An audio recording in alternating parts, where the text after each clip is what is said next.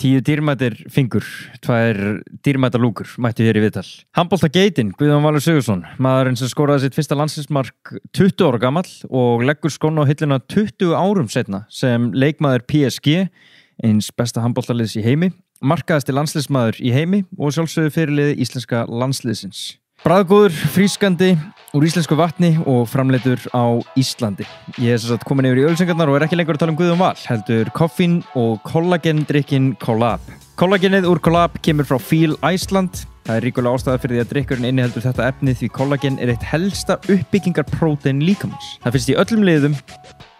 Landsliðum? Nei. Það finnst í öllum liðum, vöðvum, sinum og beinum líkamanns en líkamann hægir verulega á kollagenframlýstunni með hækkandi aldri, öll eldurstöðum maður. Kollagenið í Collab er framleitt úr íslensku sjáarfangi og með því að innbyrða það hjálpu líkamannum við uppbyggingu þessara vefja. Ekki nóg með inni halda 6 gram af þessu undraefni. Þá er hver dós pökkuð af 105 mg af koffini, B-vitaminum og íslensku vatni. Það er ekki bara innihaldi í drikknum heldur það sem drikkurinn inniheldur ekki skiptir máli því drikkurinn er laus við allan sigur og öll kolvetni. Nú í fyrsta skipti á Íslandi getur þú tekið ringferði kringum landið með fjölskylduna í aftursætinu og nýju 10-pack rútuna af Collab. Collab fæst í fjórum bræðtegundum, hver annar er frískandi og svalandi og hann fæst ekki bara í búðum hérlendis heldur hann komin í sölu í Finnlandi og vantalegur á fleiri markuð. Ekki nema, Íslands hugvit, alla leið með þetta. Fyrst við erum að tala um Íslands hugvit, hambúrgarabúlu Tómasar. Baneitraður maður á áttræðisaldri sem er betra formi en þú, að nafnu Tómas á grillinu að stekja hambúrgara. Það, það er hugvit. Tommi borðar einn hambúrgar á dag til að halda gæða eftirlitinu sönnu og þetta stendst þetta alla kröfur. Þarna er einungis notað gæðakjöt í borgarna sjökkvöðvar svo kallar og engu bætt við. Þú finnur ekkert hakka efni í hambúrgarunum frá hambúrgarabúlu Tómasar. Bara gæði og góðan mat. Það er uh, líka erfitt að finna betri frölur heldur en á búlunni. Ég man, ég tala líka um það hérna í einhverjum þetta fyrir nokkur síðan að ég er búinn að taka ástfóstri við koktelsósun aftur. Sambandi slittnaði ekki beint en veist, fólk fór í lið með Bernes og ég gerði það sjálfur. Þetta sama fólk fór þess að bræða eitthvað smjör heima á sér og hellaði svona varlega út í eitthvað ekkeröður og estragon. Um, náttúrulega gott að blessað en við erum núna komin heim aftur í koktelsósuna. Fáðu ykkur bara koktelsósum með franskonum. Uh, og kongaborgara með franskonum 150 grama, handpressaður hambúrgari ef hefnin er með þér þá var borgarinn þinn mögulega pressaður af Tómas sjálfur, ólíklegt en guð mig góður, hvað myndi gera það einans Þú getur græjað þig upp fyrir sömarið í verslunum og netverslun Origo origo.is Þar finnur allar gæðavörurnar frá öllum gæðamerkjunum. Bose, Sony, Canon, Lenovo og Google. Origo selja nefnilega Google Home, snjallhátalarana uh, erfitt orð, snjallhátalarana Google Chromecast og fleiri snjallar lausnir fyrir heimilið. Hérna erum við líka með bestu myndavélarnar á einum stað, Canon og Sony. Þetta er bara tvö vörumerki sem við treystum. Uh, ég hef notaði bæði vörumerkin í áraræður og sömulegis heyrnatólinn og hátalarana frá Bose sem að Origo er að bjóða upp á. Jésu hvað ég hef þjóstnast á Bose Soundsport Free þráðlösa heyrntólunum í hlaupunum í sumar og svo hef ég ekki stíðið inn í flugvél síðust ára þess að vera með Bose Noise Cancelling heyrntólun á mér. Ég veit ekki það er þetta, ég hef eitthvað minna verið að stíga upp í flugvél síðustu mánuðina en það er allt önnur saga. Það nota þessi heyrntól bara hérna í stúdíun við podcast upptökur fyrir ykkur sem er að horfa á YouTube. Sjáu þetta hérna leika um eirum mín. Kikið inn á origo.is og græði ykkur upp fyrir sumarið. Já, já, já, hendum okkur yfir í viðtalið við Guðjón Val Sigursson. Hérna hann mættur í hljóðformi og allir sinni mynd. Nappaði hann hérna í viðtal í, í sumarfríinu sínu og hann hefur aldrei verið svona lengi á landinu. Ákvaða að taka hringferði í kringum landið og, og hérna njóta þess að vera hérna með fjölskyldu og, og vinum. Býst ég við, ég er bara svona bylla fyrir hans hönd núna en ég held að það sé bara betra að heyra þetta allt frá honum sjálfum. Guðjón Valur Sigursson, gjör þið svo vel.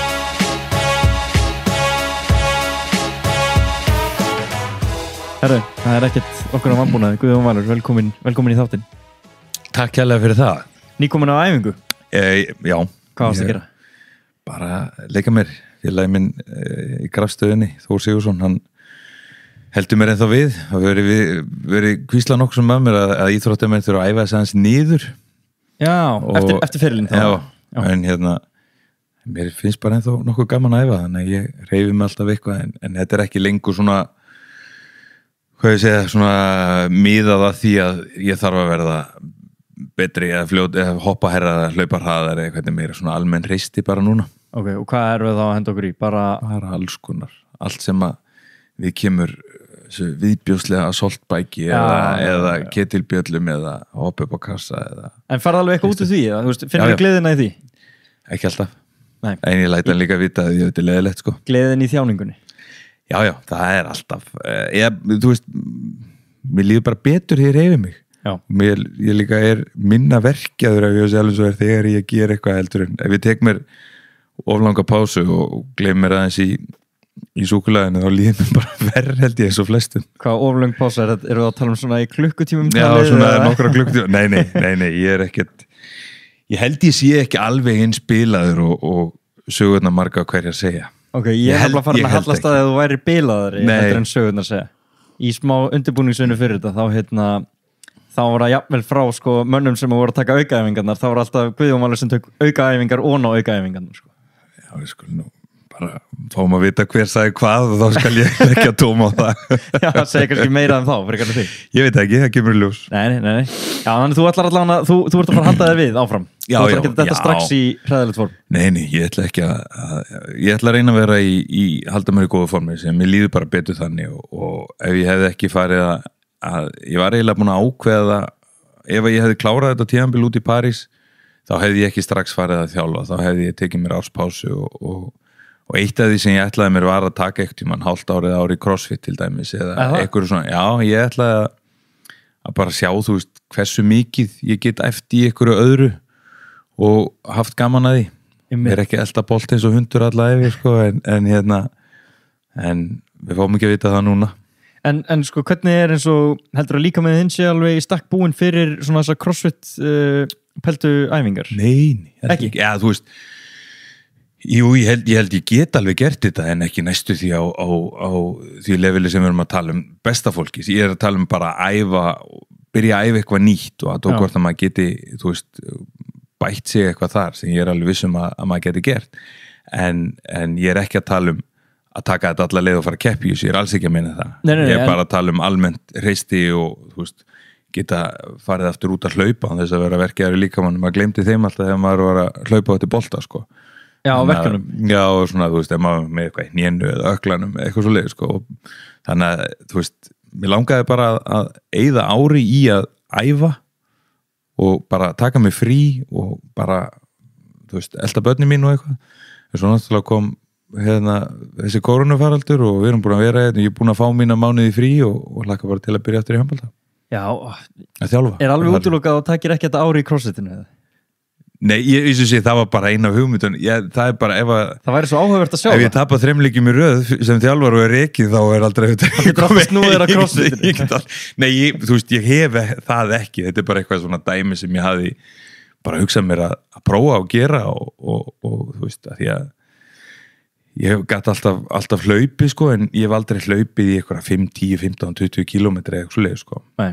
þannig að bara prófa nýtt Já, geggja. Það er líka út af crossfitið á náttúrulega að vera, þú veist, þetta byrja miklu frekar sem svona test of fitness frekar heldur en einhverju íþrótt eins og þetta er orðið í dag. Þetta var bara svo vinsalt og áhórundavænt og, Já, og allt það. og ég er að tala um æfingun á bakvið að ekki að fara allt í Nei, í keppni og, En þess vegna er svo áhugavert sko að taka einhvern eins og þig sem er bara svona í alliða ótrúlega góðu standi en mjög sérhæður í sinni íþrótt og sjá Já. hvernig hann stendur sig í einhverju eins og crossfit og þetta er ekkert eitthvað way off. Ég meina þú ert með sprengikraft, þú ert með styrk og allt saman Já, útátt. en, en þú veist ekki kannski tæknina Nei, sem, að, nei, sem að maður þarf og, og fær úr liftingunum og, og hérna en þú veist, maður er vanur að vinna í svona í rauninni interval hreyfingum þannig lagað og, og hlaupin okkar eru þannig og, og svo leiðis og, og en ég að þetta er, er tvent ólíkt Já, en maður geti samt lært eitthvað, átt gaman að því.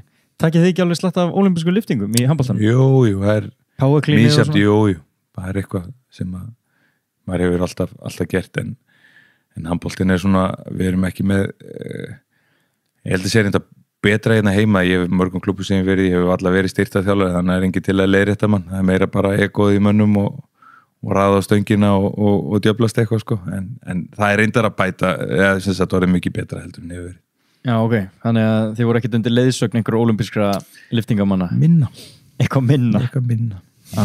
Hvað varst, veistu,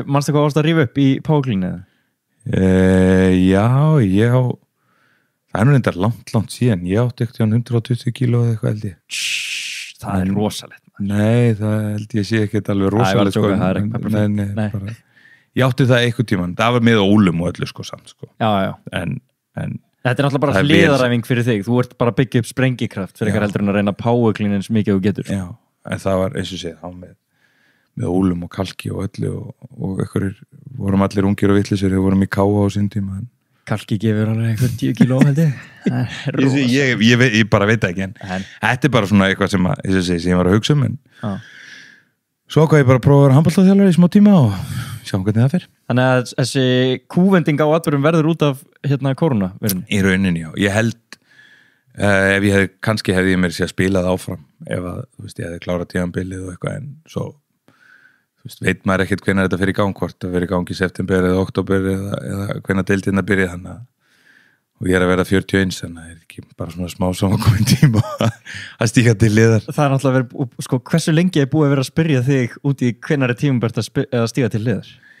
um, sko, það komu svona þrjú, fjögur ár myndi ég segja milli svona ef ekki segja 30, jú, getur sagt fjögur ár 34 til 8 eitthvað svo leiðis Já. svo einhvern veginn dóið út en ég heyrið alltaf frá svona út? já, að því að þú veist, þá er þetta bara að ok, hann er eitthvað sem er ekkert að hætta en, en ég heyrið það sko hjá, hjá félögum minu sem að hafa, er ennþá að spila og þú veist þeir hafa fengið spurninguna, hvenær ætlar hann að hætta Já. eða eru að byrja núna að komast inn á aldurinn, er þú ekki að fara að hætta þannig að þú veist, þetta svona dó út hjá mér einhvern veginn, myndi ég segja, eftir 38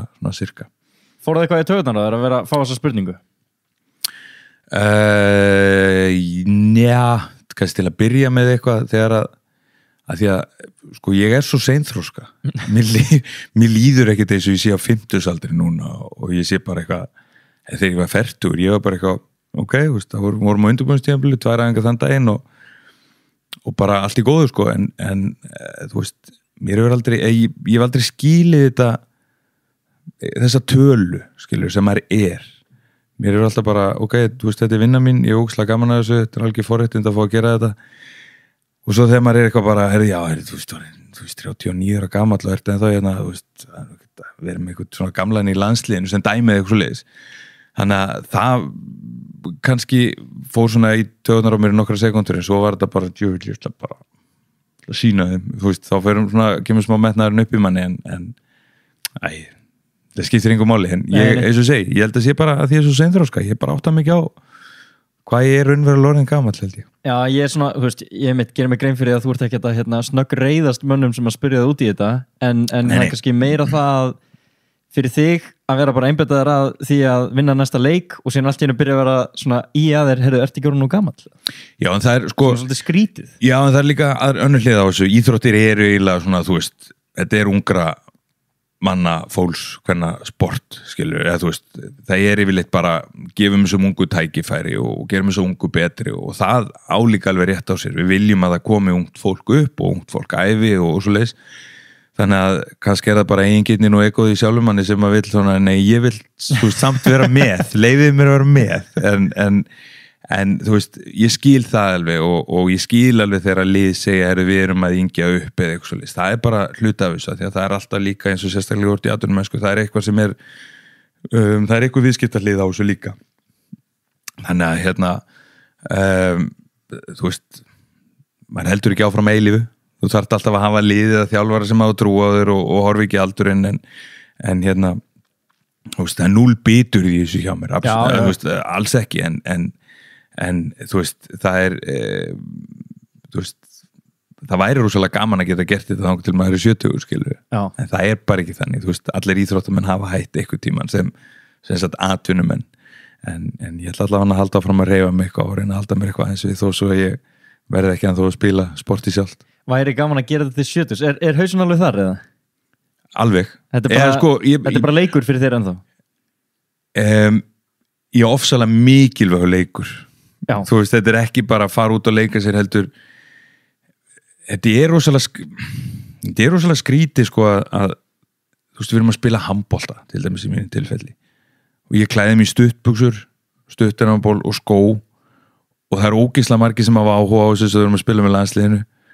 Og allir ógislega reyðir eða glaðir eftir hvernig fer en þú veist, við erum í alvörun að leika okkur með bolta þannig að þú brýtur þetta niður, þú veist, fáraleikin skilur er bara að það eru krakka sem að mæta á æfingu og finnst ótrúlega gaman og, og, og þú veist, í öllum íþróttum og sportum en, en þú veist, ég þú veist, kartmaður á miðjum aldrei og þetta skiptir með þó ótrúlega miklu máli. Já. þú veist, að vera í þú veist, standi að geta staðið mig að undirbúa mig fyrir leiki, að sjá veikleika hjá hinum og þá verður þetta svona smá skák og eitthvað. Þannig að, þú veist, þetta er engin ykkur 84-95 vinna en samt eitthvað sem ég hef vunni við alla mína fullorinn sæfi þannig að ég á erfitt með að lýsa því, veist hversu, mik hversu miklu máli þetta hefur skipt mig en, og hvað ég hef lagt mikið og fórna miklu fyrir þetta. En svo þegar maður hugsa bara, veist ég var bara elda bolta sko.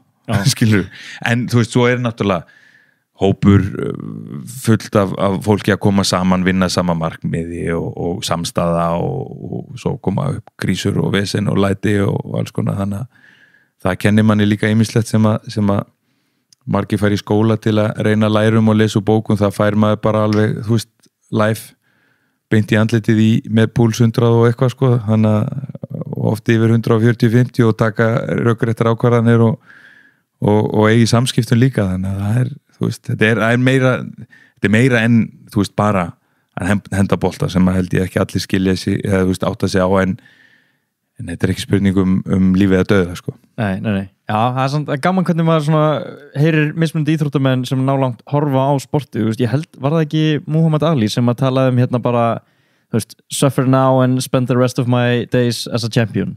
Þú veist, að hann, hann var bara svona, ok, ég ætla að þóla þessar ræfingar, þú veist, ég hata þetta en, en hérna, ég verð bara meistari restina af lífinu ef ég gerir þetta meðan þú ert bara, ég vil verið til að gera þetta til sjötu já, eða sko hann var reynda Já. að láta lemja sig í andlitið sko. Já, það er öðruvís held ég að láta lemja sig í hausinn endalega sko en, en já, ég, þú veist auðvitað hefur maður hugsað til þess, ég vinn til eitthvað núna en, en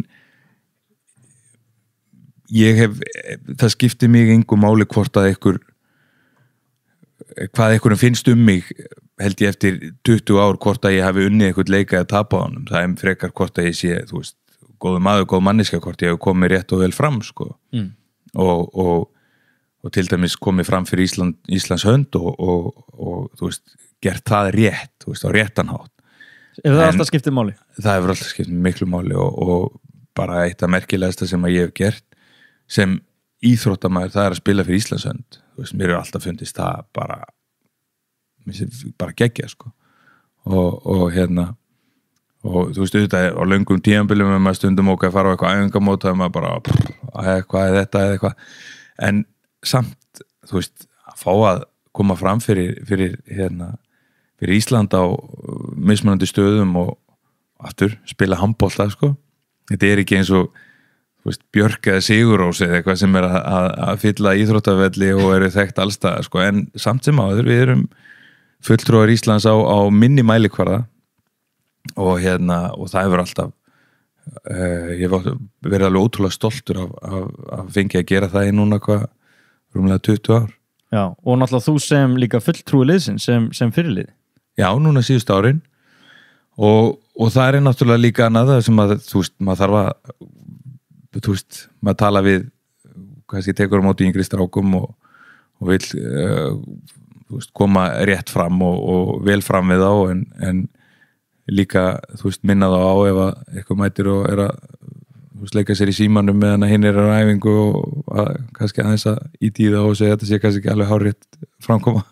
Að vera aðeins eldri. Já, nei, bara og, og þú veist að, að segja ef eitthvað er, ef eitthvað vantar hjálp og, og þú veist, margir sem hafa samband við mann eru að fara ákveða að fara erlendis, hvert er að fara, hvernig eru liðin, staðinu sem eru að fara á þjálfararnir um, og bara fá að taka þess, þátt í þessu ferli með þeim, það er alveg ótrúlega gefandi líka og kannski eitthvað sem heldur manni líka ungum að, að leika sig við yngra fólk. En þú hefur náttúrulega upplegað sko tíman að tvenna með landsliðinu eins og segir, þetta er rúmlega 20 ár. Mm. og þú kemur inn í svolítið svona gamla skóla landslið, það er ekki rétt skilja hjá mér? Jú, Hvernig getur aðeins farið yfir bara hvernig það er fyrir þig þú ert 20 ára, tæplega 20 ára þegar þú kemur inn í landslið fyrst held ég 18 eða 19 ára þegar ég mæti á æfingu.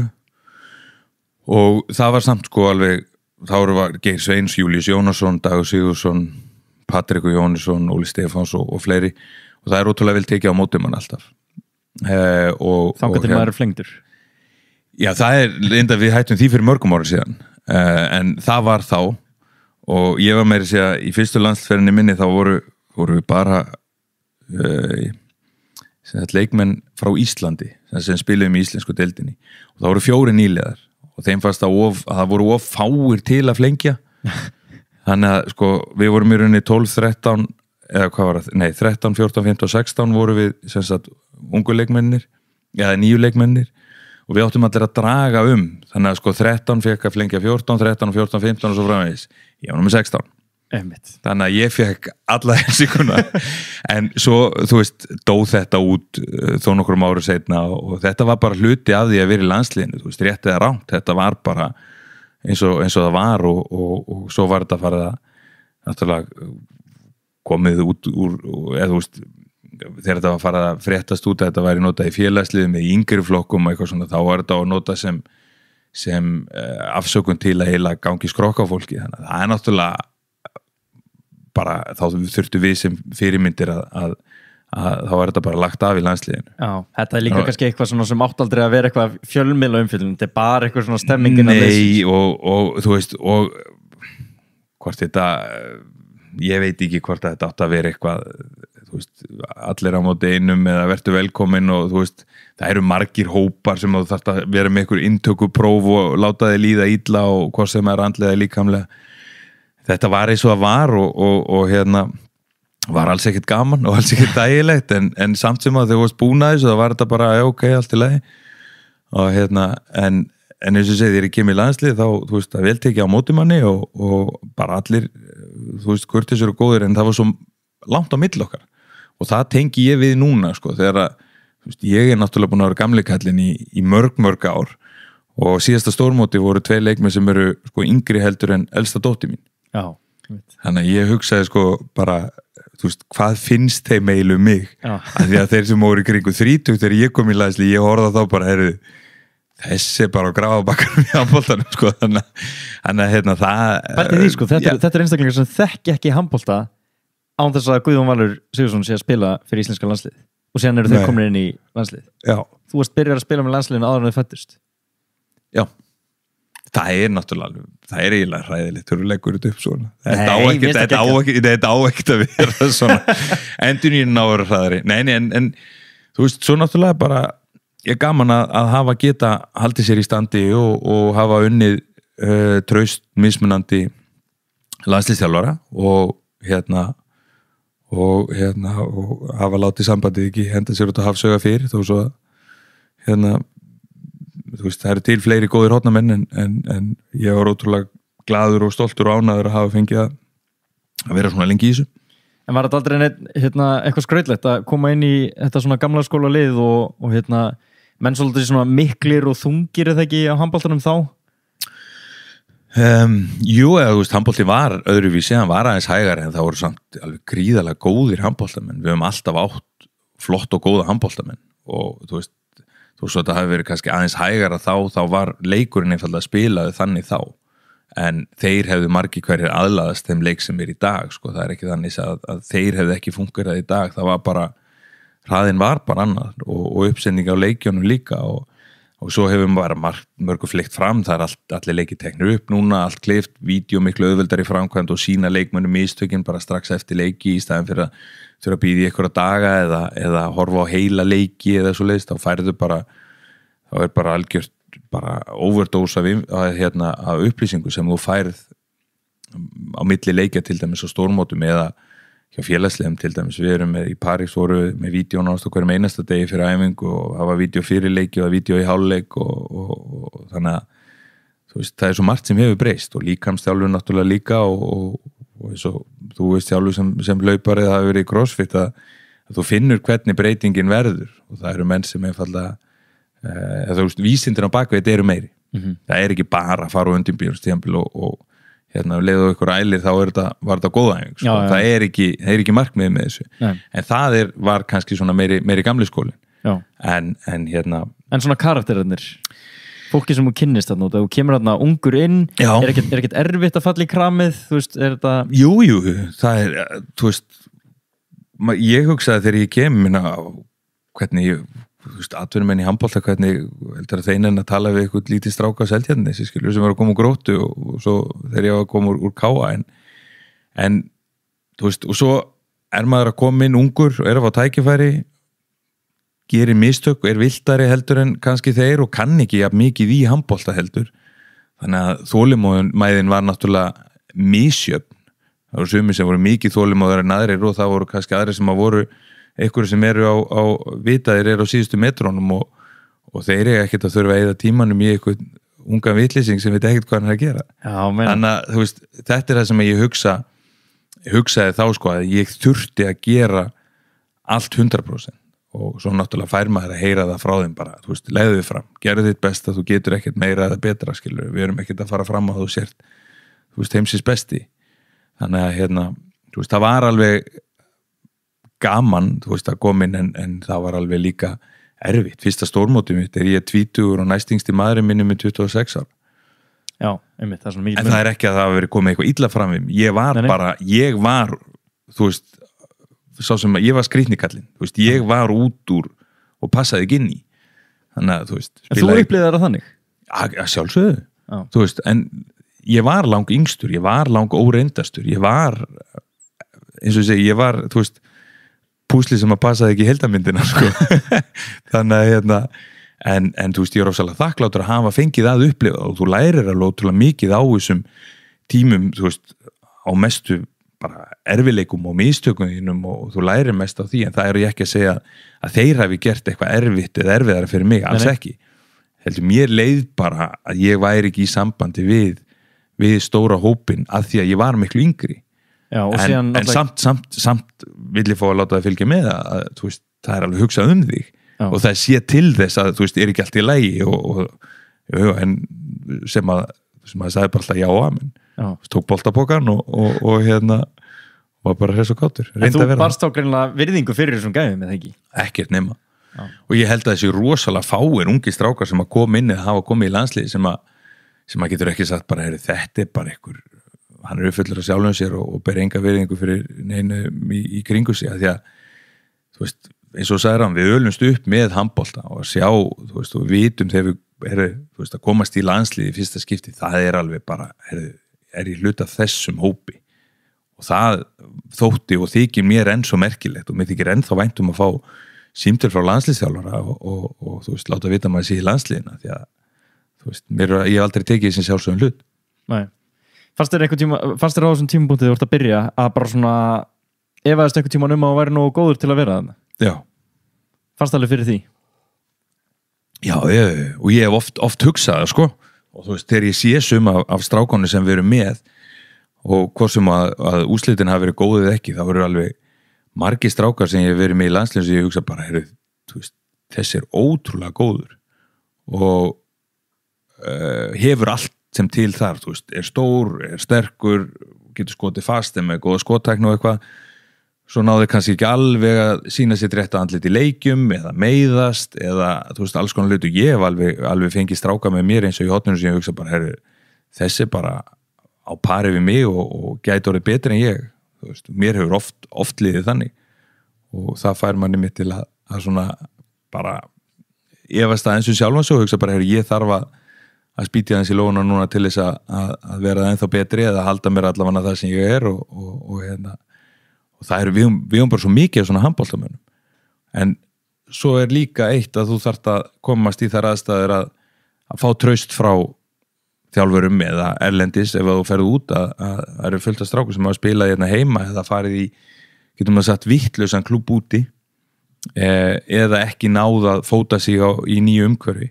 Og, og það er svo mikil veist, það er erfitt ofta að fara út, sérstaklega fyrsta hálfárið en ef þú lendir í aðstæðan það sem er kannski um, einhver stjórnamaður eða stjórn sem að kaupi þig eða þjálfari sem að hérna, færi þig og, og, og er reikin eftir tvo mánuði skilur, þá geta aðstæðu breyst Já, já, já. þannig að, hérna, Kannski, já, þú þarft að svolítið já, þú þarft að vera svolítið heppin stundum sko, Mm. líka en, en hérna, þú veist, ég hef oft ég hef oft hugsað þá er ekkert alltaf samfæður um að, að maður sé, sé sá besti eða, eða eitthvað en, en svo er maður líka bara í einfallega þannig hlutverki að, að þú veist, þegar maður er orðin fyrirlið landslýsist þá hefur maður nú gert eitthvað rétt eitthvað stárleðinni Já. og þá þarftu líka að halda andliti í, í mörgum aðstæðu sem maður hefur lent í hvort sem að það er uh, þú veist, hvort sem það eru krísufundir eða, eða viðtöl eða auglýsingatökur eða hvað það er sko. Já, tölum aðeins um viðtöl. Hérna, að við erum í einu út af við erum í Já. uh, sko, það er samt ákveðið konsept náttúrulega, þetta, þetta er svolítið grilla að, að hérna, ok, ef við tökum sem dæmi tapleikur Já. og, og hérna þú ert náttúrulega í þessu til þess að vinna það er bara engin spurning, það er aldrei einhvern tíma sem fer hann á völlin að miða einhverju öðru Já. og síðan texta ekki og tapar og er kannski svektur með liðið og sjálfaðið og þú lappar út á vellinum og það er bara látin mikrofótn í Já.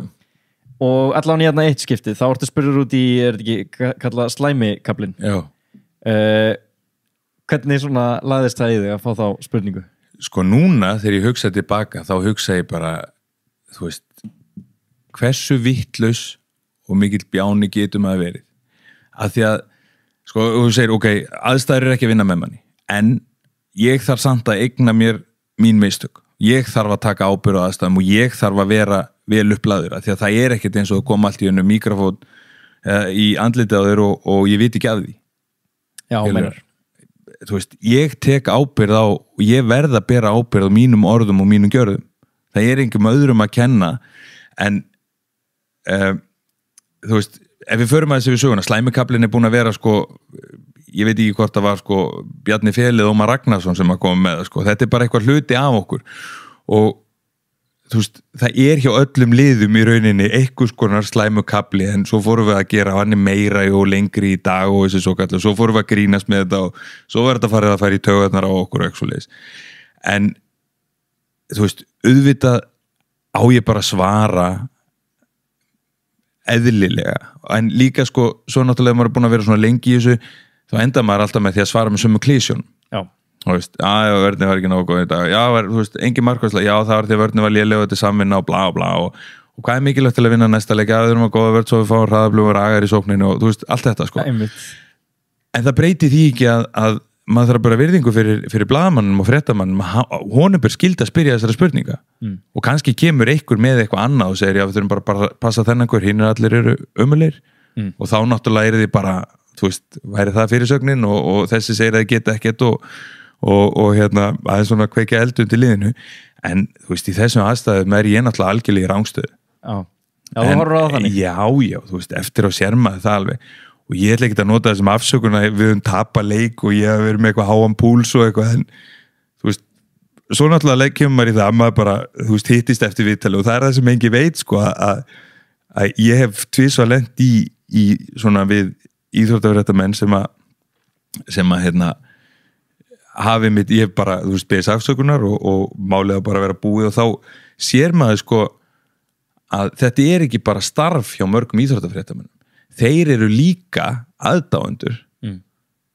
sem að eiga oft líka erfitt með að skilja á milli þess að þú svo, ok, nú er ég í vinnunni en þú sér það þegar þú kemur til dæmis ef við tökum góðumótin eða góðuleikina hjá okkur þegar við til dæmis ef vinnum Danir núna á HM eða, eða erum í öllu hæpinu og olimpíuleikunum þá sérðu virkilega í andlitinu á þeim. Þeir eru, jú, þeir eru að reyna að vinna sína vinnu en þeir eru svo stoltir og gladir Íslendingar og miklir aðdáendur þannig að þá fer maður með að segja veist, þetta er ekkert bara, það er ástæði fyrir að ég er að gera mitt, veist, ég hef áhuga á handbólta og, og, þeir hafa áhuga á fréttamennsku og íþróttum en eru líka alvöru stuðnismenn sko, en sem að þurfa stundum að tækla óþægileg mál og sliðis en eins og segi þarna og, og þú getur yfir öllu við tölum hvað sem að sé, þú veist hvað þetta er en það er oft sem maður hefur lappað inn í klefa og verið bara oh, guðjón hálur þú veist, ekki þetta. Þú veist, til hvers, af hverju? En svo, þú veist en það er hluti af þessu. Og Já, það er líka og það sem maður gefur og ég, ég, ég er ekki ég er alls ekki of, of merkilegur uh, til að býðast ekki þú veist, ég býðst afsökunar ef, að, ef að ég hef rámt fyrir mér og, og hvað sem að það kemur út ofinbeli eða, eða beint við, við manni sjálfan sem að ég hef komið ítla fram við eða ekki uh, gert rétt við þá. En þá, þá bara ger ég það. En þetta var eins og sé, þetta var aðeins og slæmi gamli var, var, var, var á erfiðum, erfiðum tímabúti í okkur landsliðinu Já. en það var svolítið slæmu gamli svolítið, í svolítið læg, þetta var ekki bara eitt leikur. Nei, nei, nei, en þetta er náttúrulega fyrir fólk sem er ekki veist, séð eða heyrt þetta viðtali sko, þú ert náttúrulega, þú ert ekki að flega einhverjum höggum þarna, þú bara svona, sagði bara, er byrjað þetta aftur og hérna hættu með hennar slæmakabla og síðan bara lauk viðtalinu svolítið snögt það var ekkert hræðilegt en, en Nei, hérna nei, en, en, samt sem áður sem, þú veist, fyrir landslýsins á ég ekki að gera þetta, en mér fannst ég á þessum tíðanbúti þurfa að, uh, hérna, verja mittlið já, og þá tekur líka stundum eins og eftir leiki það sem að kannski gæti hafa uh, átti kannski ekki træðinlega leik en við höfum tapað þá kannski segir maður, herri, veist, þetta er mér að kenna. Ef ég hefði gert þetta betur þá hefði gerið þá kannski reynir maður að líka eins að dreifa aðtiklinni og segir síðan við ungu strákana að, að hérna, liðið kemst bara eins langt og, og leiðtóa liðsins koma liðinu skilur, öll svo hjálp sem hún fær frá yngri og óreindari mönnum hún er góð og hún er vel þegin en liði fer aldrei lengra heldur en þú veist hvað getur maður sagt toppurinn í, í, í liðinu eða bestu leikmenn liðsins draga, það er bara starinn og, og hérna, þess vegna er meiri pressa á á leiðtugum í liðin, þess vegna er meiri pressa á á, á hérna, bestu leikmönnum að vera eiga ekki slæma leik og það meiga ekki of margir af okkar bestu leikmönnum eiga svona smá dándag að því að þá er, er, er voðin vís. En eins og ég segi, þú veist, öll hjálpi vel þegin en það er samt alltaf á ábyrð leiðtógana eða bestu leikmannna hversu langt liði fer. En hugsaðu þetta þá þegar þú lappar út af vellinum og það er kannski allt tengt svona fjölmjöla umfjöllun að verja mögulega yngri liðsmenn fyrir einhverju svona að það sé ekki vera stimplin í hausun og þeim eitthvað um enn slæmakabla eða neikvað umfjöllun eða eitthvað þess að þar Nei, við tölum kannski um það fyrir ef að það er einhver um, neikvæð umfjöllun eða neikvæð umfjöllun, ég get nú ekki sagt að það sé þannig. Það er mikill áhugi Já, en umfjöllunni stjórnast af okkar gengi. Þannig að þá fer ég aftur í það. Við þurfum að taka ábyrð á því. Þú veist, það er ekki eins og það væri neikvæð umfjöllun ef við værum að vinna alla leiki. Nei, nákvæmlega. Þú veist, það kæmi ekki bara, þeir eru ekki að vinna nógu stór, þá getur við við, við erum að vinna? Skilur, eða þú veist, þess er ekki að spila nógu vel eitthvað, við erum að, við erum að vinna þannig að, áttur tökum ábyrð á, á því ef að umfjöllunin, ég er enda að vera að segja mér finnst umfjöllunin mjög góð í kringum okkur og, og við erum enda búin að vera núna held í kynnslóðskiptum í, í 2-3 ár. Þannig að það er alltaf einhver ungir að koma inn. En, en hérna og maður sé komið punktur fyrir aftan hérna, þá afsökun núna þegar ég er farin en, en hérna uh, þú veist, það er uh, þú veist ég finnst ekkert, ekkert neikvægt, veist, þetta er hluti af þessu líka og, og að koma frá landi það sem að fólk hefur áhuga á þessu og ekki bara fjölmjöla heldur landin almennt og það er bara, þú veist, það sem er mér finnst frábært og það sem ég hef gaman af og, og við höfum allir gaman af en við getum líka stjórnaði með því einfalla standa okkur betur Mhm. og þá er það ekkert að segja, já umfjöllinu svona þessi skrifa þetta, þessi er hitt come on, ef við töpum leikjum, þá er það bara þannig að að þetta er ekki KFM og K sko. Nei. Fekk þetta á þau eftir þetta viðtal? Fannst þér þetta, lappar inn í klefan og finnur strax bara djöfulli maður, hvað varst að gera núna? Þetta var ekki, það var ekki planið. Það var ekki stjórnumómenti mitt. Já. já, eða þú veist maður veit náttúrulega bara mjög fljótlögt þegar mann heitt í hamsi þá kannski segir maður hluti sem má ekki að segja. En þú veist, eins og sagðir þetta, var ekkert alvarlegt Nei. en það var náttúrulega miklu auðveldar að nota þetta af því að við vorum ekkert að gera neitt vel þá var það náttúrulega, fyrirlið segir þetta eða hitt eða eitthvað en, en veist það er bara þannig, ég lifi með því og, og þetta er ekkert þetta er ekkert sem að, sem að snerti mig eða pyrra mig en, en aftur á móti get ég alveg sagt að, að veist, sökin er algjörlega mín að því að þú veist, þá á mig að spyrja mig að hverju sem er. Þú ert svolítið að taka, taka á þau ábyrðina ég, þú veist ef ég ætla að vera fyrirlið íslenska landsleysins í handbólta og kenna alltaf ykkur um öðrum um veist, hvers virði er ég þá? Veist, ef ég kem inn í klefa og segi við strákana við töpuleikja djúllur dómarnir liðleir skilur, þá eru þeir komin með afsökun fyrir já, það er umlegt að búið að gera heita þetta eða skóluðu var sleift eða kalt í höllinni, veist, það er það fyrir alla. Þannig að við þurfum að taka ábyrða stundu það maður einfallega viðkenna að aðstæðingur sé betri. Skilur, maður getur líka lendi því jafn og ótrúlega það er fyrir Íslandíka að það eru til þjóður sem er einfallega betri við í ykkuru þó svo að, að, að við viljum eins og segi, seint viðkenna en þú veist, þá bara veist, tökum bara ábyrð stjórnum okkar örlöfum svolítið sjálf og, og hérna þá held ég okkur líði betur og kom, við komumst lengra held ég ef við tökum þetta sem langlöp ekki sem sprettlöp En eins og þú þegar þú ert að byrja þarna í landsliðinu og, og svona í blandu það sem hann Gauti Gretarsson talaði um hérna í tengslu við að leifa þær að fara inn á mm. og, og hérna hann, sem sagt, ég veit ekki alveg á hvaða tímapunkti þetta var á þínum ferli en ég held að þetta sé fyrirlandslið, getur það ekki verið? Jú, jú, jú. Gauti mér sér gekk svo langt að hann, hann ég var ekki í hóp en hann lit samt kynna mig inn í ljósasjó á nesinu Já, ok. Þannig að ég hitaði upp, fór í uppbytunangallan og var kynntur inn, þetta var gróta á móti val, fyrsta tíðanbili að gróta var hann í, í fyrstöldinni, lendi sjöndasæti og spiluði val sem var í öðru sæti í í Annar þér, leikur út, út á nesi, ljósasjó og allt saman maður og ég kynntur inn og svo bara fór ég í styrtu og kom þér úr leiknum. En Gauti hugsaði um allt svona sko, og Gauti hugsaði um, þú veist, matar á liftingar og ég get alveg sagt að í dag Gauti hjálpaði mér og kendi mér alveg ótrúlega mikið. En sko líka þegar ég kem út þá sé ég þú veist að hann kendi mér miklu miklu meira á, á líkamlega þáttinn heldur nokkuð mann á handbóltan og ég þurfti þess líka því að til að sværi 68 kíló sko Já, byrju tölum aðeins um það. Hva, það. Þá ertu bara við fermingaldurinn eða? Nei, ég er ekki svona 15-16 ára Ok. svoleiðis.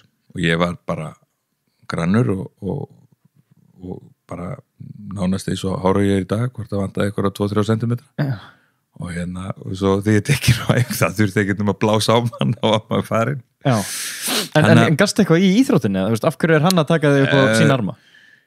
Já, eða sko, já, í þriðafloknum var, ég var eiginlega orðin einn eftir, eða vorum tveir eftir sem að fengum að koma að æfa með, með hérna e, meistarfloknum, að því að það voru bara allir hætta brottfalli var það mikið. Og annar mjög góð félagi minn sem að endaði með því að fara í fram. Eh, og ég var í áfram í gróttu. Og Gauti sem sagt tók minn og leiði mér að vera með. Og hann sagði bara, hérna, við fórum í alls konar þrekkprófjónum og, og hérna, hann sagði, þú hættir að hlaupa núna og þú lifti bara. Ég þurfti bara að lifta hvort það voru 5-6 dagar vikunar og ég átti alltaf að borða því ég var hann sattur átti ég að halda áfram að borða í einhverja ákveða marga mínútur eða ákveða marg, mikið eitthvað.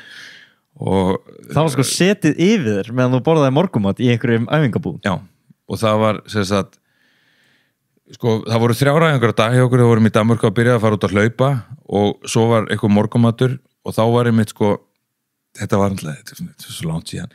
Það var ekki eins og þú varst ekki með einn kort skilu, þú fegst, þú fóst í bankan og það er gjaldiri Já. og hann tók gjaldirinn minn og hann vestlaði fyrir mig, ég þurfti engan pening. Að ég borðaði bara þegar og þar sem við vorum bara þá borðaði það sem hann sagði mér að borða. Já. og ef það voru einhverjar veist, fjóra brauðsneðar með einhverju þá var það, þú veist, hálfu lítir eða lítir að jógurti með og svo var það mjólk og svo var það þessi sæf og þetta og hitt og bla og bla. Og svo var það banani og, og, þú veist, alls konar ávextir og, og inn á milli og, og svo komu stóra máltíður og þá voru það tveir diskar og, og svo liðin hafði söpvið var nýbúið að opna þarna held ég í, í kaupmannöfn og þá fer allt liðið þangað og, og Gauti var búin að, þú veist, fítumæla alla og, og, og það voru svona, við vorum tveir það voru, all, held þessi, einn eða tveir átt að halda sér í þyngd allir hinn átt að létta sig eitthvað smá og við vorum tveir sem áttum að þingja okkur. Og hann fór og náði kökuna af öllum. Og leta okkur tvo fá og leta okkur borða það. Þetta er kannski ekki heilbriðarlegin á að þingja sig. En ég borða því, held ég átti að nýju kökur og söppi eftir ég var búið með báti minn þá þurfti ég að borða það líka. Hann var að deila kaloríunum jafn niður á liðsmenn. já, eða svo, þær kom allar til mín og til annars, annars hérna, stráksann í liðinu. Og ég bara ég borðaði og borðaði í ykkur, bara mér fannst í áriða tvö. Og ég þyngdist um ykkur. Eða hann sagði náttúrulega líka þú veist, það sem að þú, þegar þú ert ungur og það sem þú gerir rétt þá veist, það eru hormónar og, og allt á miljón í líkamannum og, og hérna hann sagði, þú veist, þetta virka bara bara líkum við eins og að taka stera sko, ég bara hvað er það, þú veist, ég skilur en hann var bara, þú veist þekkti og vissi allt um um líkamstjálfun og um, þú veist, þetta var samt ekkert eitthvað of mikið að hann, hann fylgdist alltaf vel, eða alltaf með manni. Þannig að uh, ég bara þyngdist trakt og örglega og, og, og líka þegar maður var búin að stækka þú veist, þá nær maður aðeins betri stjórn á útlimunum líka, það sem að kannski margir ungir kallmenn eigi smá erfileikum með þegar það stækka um 10-15 cm einn ári og vöðum að sem fylgir ekki með. Þannig að hérna uh, það var bara veist mér mikilvægt á þeim tíma og eins og segi það er svona hluta af þessari heppni. Ég var það heppin að fá hann á þessum tíðanbúndi en og ég hafði líka vita á því að einu sinni lent okkur reynda saman þegar ég fór eitthvað að raugræða um, um, um handbólta við hann og hann hendi mér heim. En þú veist þá vissi ég bara ef maður er með- hjá Gauta þá bara er maður all-in og maður gerir það sem hann segir og, og það skilaði mér. Góða morgun. Já, hann saði hann alltaf að taka þig hérna undir, undir sinn vang með því skilir að þú hlýðir öllu og Já. gerir allt sem hann segir og það er líka mjög gott að vita, ef maður ætla til Gauta þá gerir maður það sem hann segir hann, hef- hann veit alveg, hann veit hellingallin sko. Hann er alveg frábær sko. og hérna, nú er ég eftir að nú er ég eftir að finna mig tíma og, og láta hann kenna mig golf líka Já, hann er náttúrulega með það áhrif. Ert þú komin þangað? Nefn, ég farið öðru hverju ég er rosalega viltur. Og, en ég hef meira gaman, að- að standa á æfingasvæðinu bara og berja rosalega marga bolta bara í burtu í einu Bara með já, Bara reyna að ná eins mörgum höggum og getur. já, Já. ég getur ágætur held ég svona raðgólfi og búið til eitthvað svo, eitthvað svo leiðsport Það var geggjað maður. Sleppa bara þessu púti. já og vera með smá, þú veist, svona læti ekki eitthvað þögn þegar að þú veist, þú mátt tala í síman meðan einhver er að slá og, og þú ert bara í æfingaból og stuttbuxum. já, Já, bara hlaupa skóm. einmitt það er að gera kannski með- æfingar á milli við erum að, við erum að finna eitthvað þarna. Já, já, þetta var mjög vinsal sport. Þegar að því kemur sko. Þetta? já, við höfum smá tíma til að Já, já, golf án pútsins. Þetta er að fara að slá það gegn sko. það er reynda líka eitthvað Já. þú slærið eitthvað, svo leipur og þú mátt kasta síðasta eða eitthvað, Kasta. Æ, ég veit ekki Þú ert nú bara, lagi, nú ertu bara að að gakk, handboltan þú veist, það er þetta ekki sko. allt það er, maður er ekki bara góðar Og hvað er markverður fyrir framann hóluna? Bjöggi geti, plöggað þetta sport Aha, hann er rosalegur í svona plögginu? Fussar. nei, ekki að ég bara hugsaði bara allt í einu hversu maður mikið maður hefur hvað maður hefur mikið fengið að, að prófa og hluti sem að maður hefur fengið bara því að hérna, Bjöggi ringdi í einhvern sem að þekkti einhvern og, og allt í einu voru bara þrýr kassar af einhverju hann og hann hefur þetta flugvél Já. já, hann hefur þetta flugvél bara með símtali Og, og vildi hann bara sanna að hann getur þetta flugvél Nei, það bara það, þú veist, það þurfti eitthvað svona, við þurftum að komast hratt á milli staða Bjöggi bara ringdi klukktum og setja á búin að redda flugvel Ég búin að þetta flugvél? Já, hann bara, þú veist, það er Bjöggi Já, hann er Varst þú með hann hérna í íspjalli, ja? hann er hann er líka svona braskari sko. Hann hérna alltaf með gelið og allt þetta. Hann er alveg út fyrir handbóltan. Já, já, hann já, já, en þú veist, það er ekkert bara það hann er ábyggilega með sko svona þúsund aðra hluti og hugmyndir sem að býða bara eftir að, þú veist, koma bara hérna og skoppa bara svona upp á yfirbúri. Þið voru alltaf að- herbyggisfélagar. Við vorum herbyggsfélagar, já, Hvernig náðu þið saman? mjög vel Já. Já, Þú náttúrulega skilur hann eftir þarna á einu stórmóti og hann var tauga áfall. já það er mitt ég það er líka mitt, ég þarf að taka ábyrð á því Já, það er bara mér, að það er mér að kenna Þú getur ekki verið að kenna bjögga um það sko. en það kom eitthvað gott út úr líka Já. þú veist, það kom bók og, og kom fullt af hlutum sem að hann hefur greinlega þurft að tækla og díla. Ég er ekki að segja að ég hafi verið svona hafi séð þetta fyrir, hafi þurft að gera þetta. En þú veist við vorum, við vorum góðið saman en, en hann er bara, gaman að vera í kringum hann mikil orka og, og, og þú veist, læti og, bara svona eins og þegar við erum saman inn á herbyggi þá hérna, það er svo mikil grúskari. Glamrar á tölvunum sinni og skrifa niður öll skot sem að menn hafa tekið og, og planar og pælir í hlutum sem að ég stundum bara alveg "Heyrðu, þetta var aðeins svo langt og mikið fyrir mitt fyrir, hérna, fyrir mig en, en veist þá er einmitt svona það sem maður hugsa um þegar maður hugsa um bjöka þá er það veist, alla ferðirnar, allir staðirni sem við vorum á þú veist, við höfum talað saman eftir tableikin og herbyggi og, og sérstaklega þegar maður hefur ekki verið nóg góður eða þú veist, ekki gert hlutina rétt eða vel þá er, þú veist, gott að eiga vinn sem, sem maður getur hérna hent hlutunum yfir á og, og hérna ég hefði þurft að vera 2019 fyrir hann greinlega líka. Já, hann er alltaf verið staða fyrir þig síðan í eina skipti sem eina hann skipti sem hann þurft að tala þá. Þú farin sko. Þá skildi ég hann eftir í skýtnum. Hefur lesið bókin hans eða? ég hef ekki lesað bóki, ég hef hlustað á, á stóran hlutinnar ok, hvernig, hvernig svona leggst þessi bóðskapur í þig?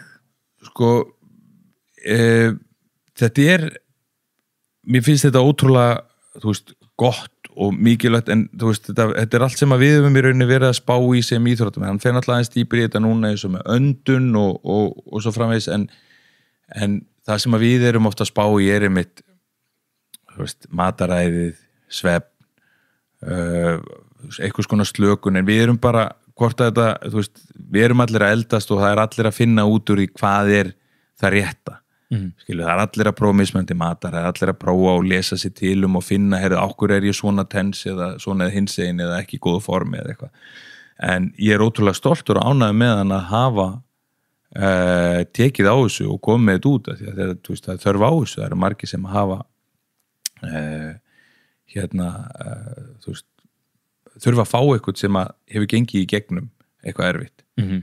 Til þess að, að leiða sig áfram. En ég náttúrulega, þú veist, þekki hann sögu og við erum búin að fara í gegnum, gegnum það þannig að, þú veist, ég vissi, vissi þann kapla alveg, sko, en, en svo bara er gaman að sé að grúska, sko, en, en hann er að hann er þetta ansi djúft núna, sko.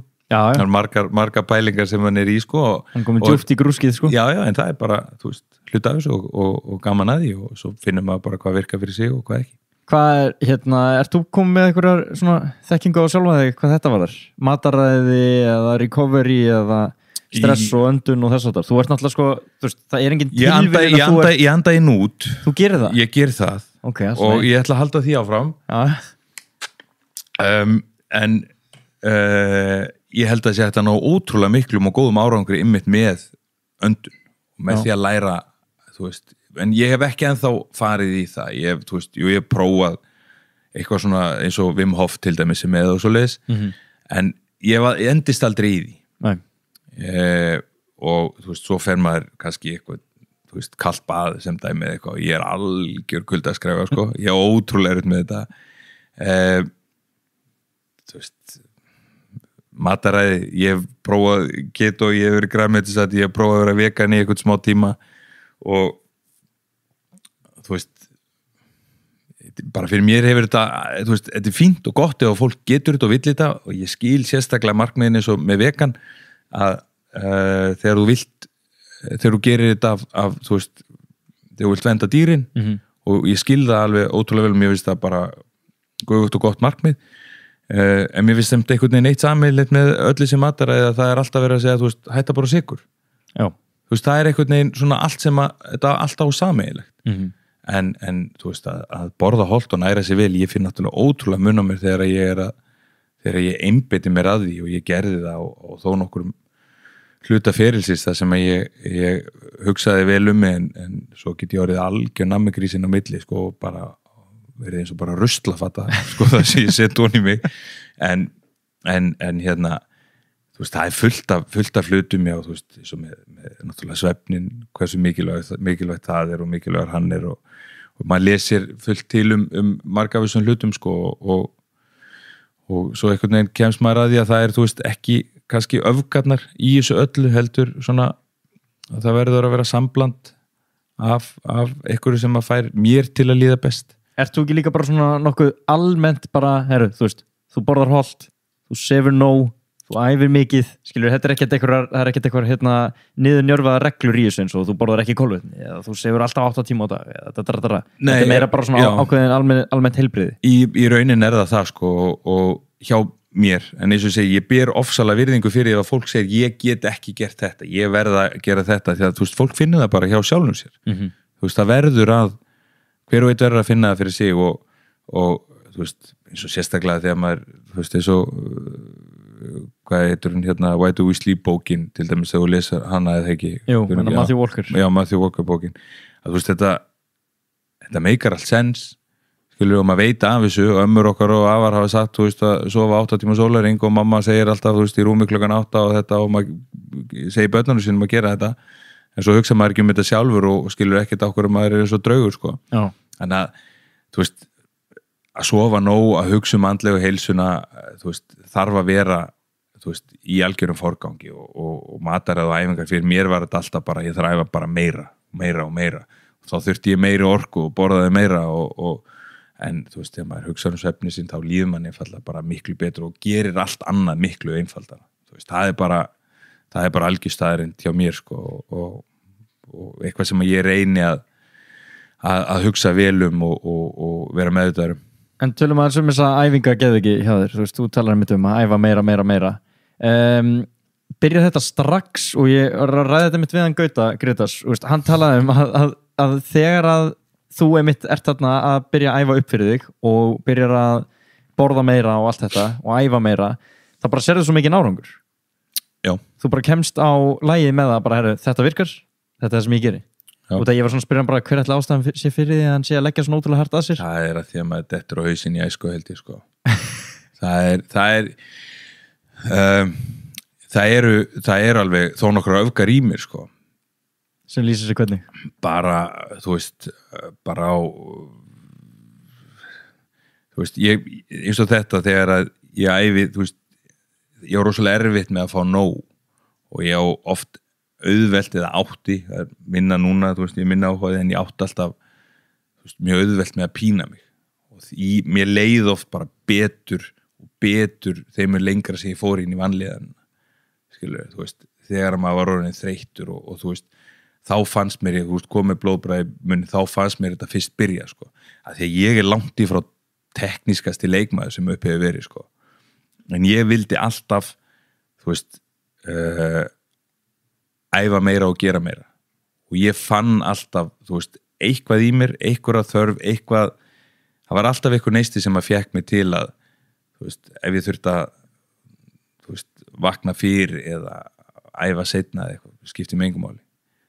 Af hverju nákvæmlega, veist, það er einhver það er einhver bílun aðna sem, að, sem að maður hefur orðið fyrir eða, eða lendi, sko, það held ég að sé alveg á hreinu en, en þú veist, ég er ég, ég mun betri með þetta í dag heldur en ég var, sko, ég gætt tekið hlutina allt, allt og langt bara, þú veist með kröfum á, á sjálfum með aðra heldur að það komið líka einmitt frá einhverjum svona smá neikvæðum stað að, að veist, þurfa að pína sig meira eða þurfa að gera alltaf meira. Að það sé einmitt komið út í öfgar í kannski neikvæðum skilningi. Já, eða kannski maður að reyna að, að, að ég veit ekki hvað maður sé að reyna elda einhverja viðkenningu eða reyna að, þú veist, fytta eitthvað staðar inn eða eitthvað svo leið, sko eða bara eins og með landslið, þú ert að tala um einmitt, og ég held að það hafi hjálpað náttúrulega helling hvað þú berð mikla virðingu fyrir þessum gæjum sem þú ert að æfa með Já. og að þú fáir hennan sjens og sjáir hvað þetta er mikið tækifæri fyrir þig þannig að auðvitað langar að sanna þig hvort sem að kalla að sækjast í viðkenningu eða eitthvað annað þú veist, þú já. berð nú mikla virðingu fyrir þessu til þess að vilja vinna þér inn fyrir að eiga heima þarna Já, já, já, ég, og sko, þú veist, ég vill ekki fá neitt gefin, sko, þú veist, ég þarf að, þú veist, þegar, þegar, þegar finnst þú hafa unni fyrir einhverju og þá færist það líka fyrir það þegar þú ert komið orðin hluta af einhverju, þá vilt ekki dett út úr því.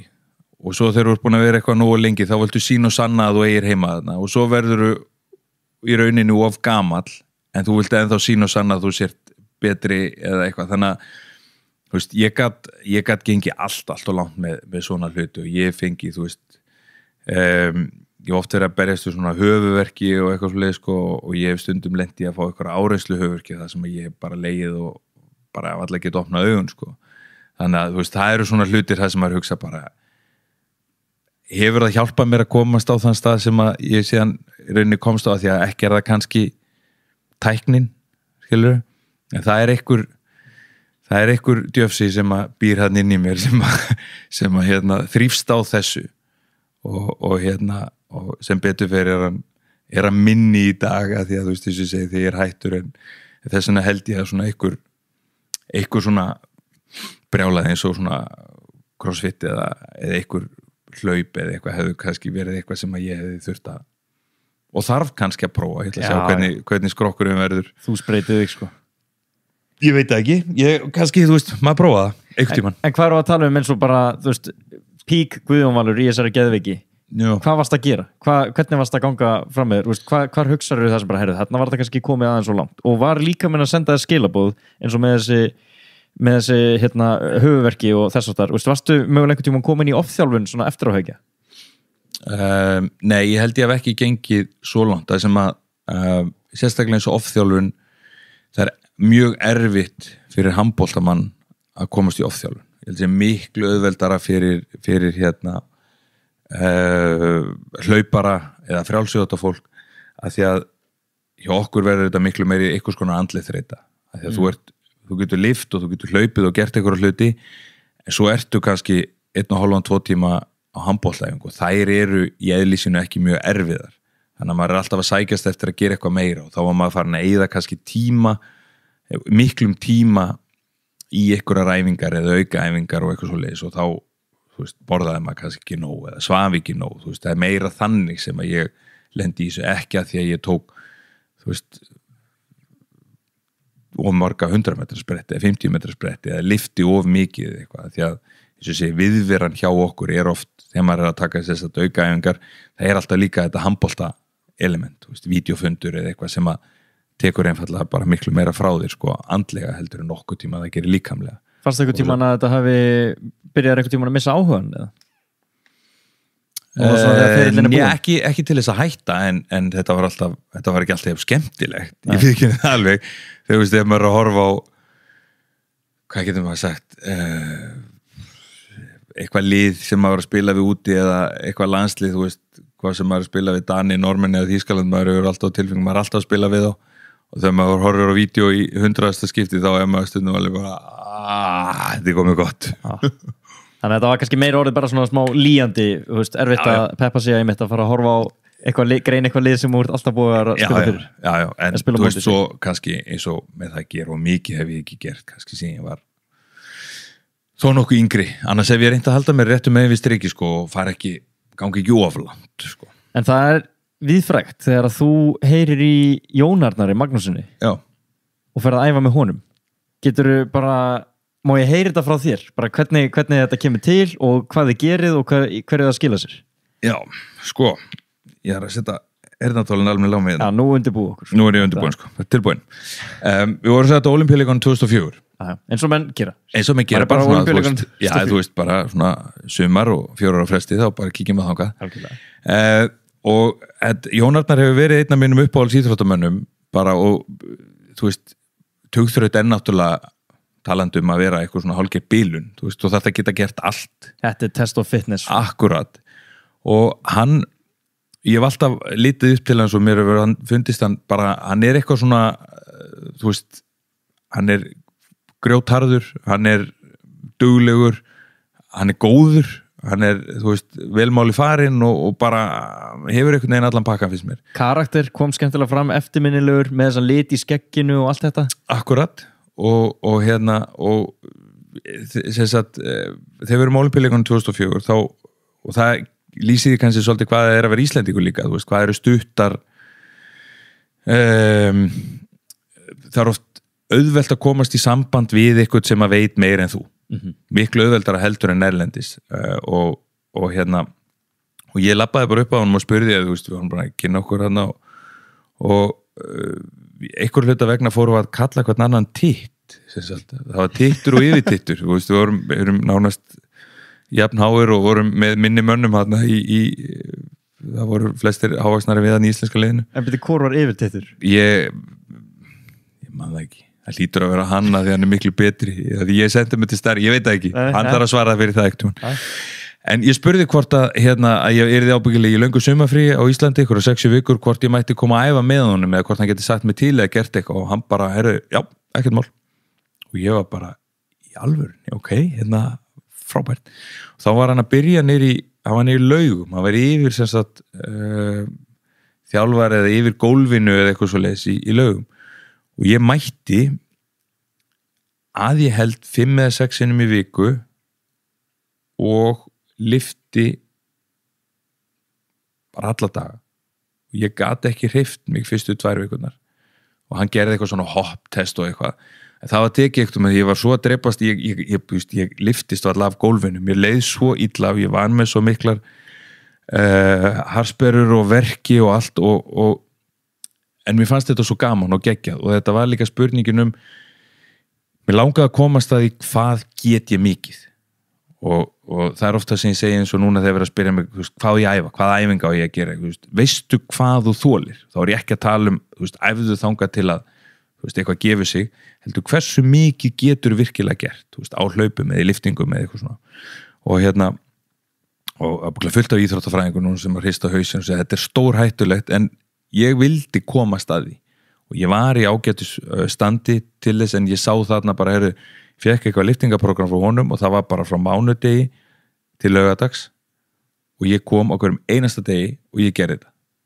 Og svo voru eitthvað tíman hoppi við grindur og þá var hann búin að voru eitthvað grindur hann fyrir utan og svo kom hann og hoppaði bara með mér ekki mun að hita um neinu og símið fór í þess átt og penni í aðra og klinki í þess átt og eitthvað og, veist, og ég rétt skreiði yfir þessa grindur að mér fannst og, og hérna og mér leið bara svo vel að vera að gera þetta og vera undir handleiðslu eitthvað sem að vissi meir en ég, sem var miklu, miklu, miklu betri íþróttamæður heldur en ég og það var líka hugsurinn á bakvið þetta, ég þurfti ekki að fara og, og fara að skota ef einhver með einhverjum betri handbóltamanni heldur ég þurfti að, að mér langaði að verða eins fitt og sterkur og ég mögulega Veist, ég gati ekki orðið eins og fúsi, ég gati ekki orðið næstu 2 metrar á hæð og 115 kíló og stokkið og hlaupið og gert allt sko.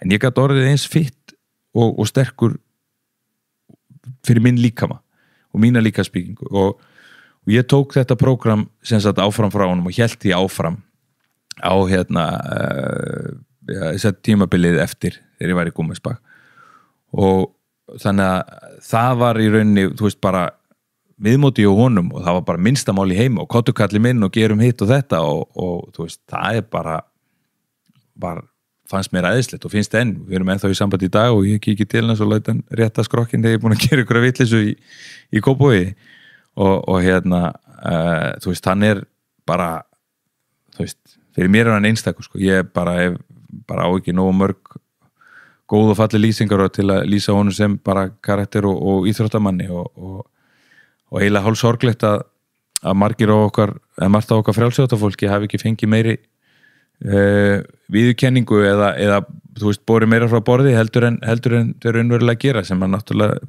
er út af smæði landsins verður en eitthvað öðru sko.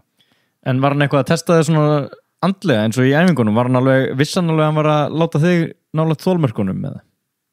Nei, ekkert, það var bara þú veist, hann gerði eitthvað og hann sagði bara þú veist, ég ger þetta svona, ég er með svona mikið Já. og svo þurfti hann að fara að gera eitthvað annað Veist, það voru bara svona smá pílur hér og þar en ekkert, þú veist, já, þú veist það var ekkert verið að, augra mann eða segja, þú veist, heldur bara ef það þurft að sína mér eitthvað, þá sínda mér það og, og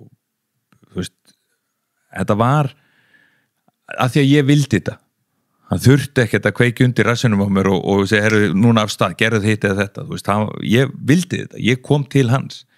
Og þá ætla ég náttúrulega ekki að vera bara eitthvað, að ég nefnir sig þetta, ég geti þetta ekki. Einmitt. það var bara, þú veist, þetta var bara heiður fyrir mér, algjör sko. Og bætir þig? mikið, alveg ótrúlega mikið. Og það er bara þú veist, hard work pays off. Það er ekkert þetta er ekki líi Nei.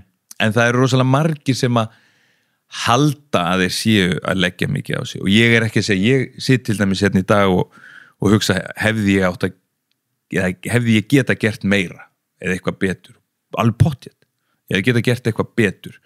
Ég veit ekki hvort ég hefði geta gert eitthvað mikið meira en ég hefði geta gert marga hluti miklu betur. En það náttúrulega kemur með reynslu og að maður eldist og verði vonandi aðeins vitrari og ekki alltaf sami vittlisingurinn sko, en, en ég læriði ótrúlega mikið af honum uh, sem dæmi og, og, og þú veist, bara, ef maður leggur sér fram skilur, þá veist, maður færa tilbaka á einhvern hátt hvað sem maður komist í, í Kíli eða Barcelona eða verið jafn góður í handbólt á Aron Pálmarsson það var aðeins meira til heldur en bara að vera góður í liftingasalunum sko. en það allavega uh, þú veist er allavega það sem ég lærið af þessu öll að veist, ég gati einhvern veginn alltaf aðeins meira og ég netti aðeins meira og það skilaði mér ágætla langt en ég hefði samt sem áður veist, vilja kannski vita meira aðeins fyrr Já. um marga hluti Já, segja þetta ekki flestir eða? Jú, ekki- ég, eins og ég segi, þú veist en, en ég er ekki bítur eða sár út af því sko nei, nei. En, en, veist já, það er margt, margt sem að maður get, ef, þú veist, ef vitur mig eftir á en, en þá hefði maður kannski, þá sæti ég kannski ekki hérna í dag Nei. Ertu búin að sjá Last Dance, Jordan heimildættina? Já, Hvernig blöstu þeir við þér?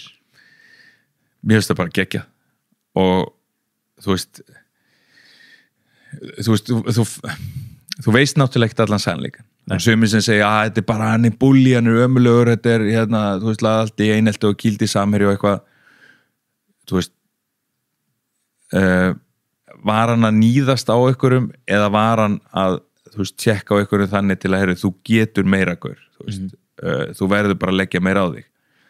Það getur við ekki lagt almennlegt mat á að því að hann náttúrulega gefur líka leifi fyrir þessu.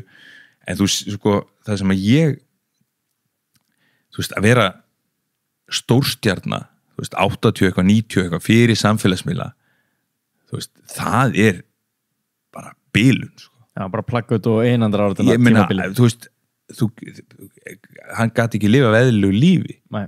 hann gati ekki farið út skilur. það er það sem að ég horfa og ég hugsa bara, þú veist, þetta er ekkit líf.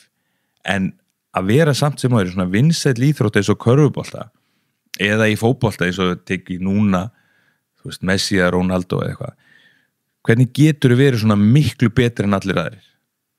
Og það er meiri að þú veist, það var meiri snerting í, í körfubóltanum þá og meiri hasar og læti.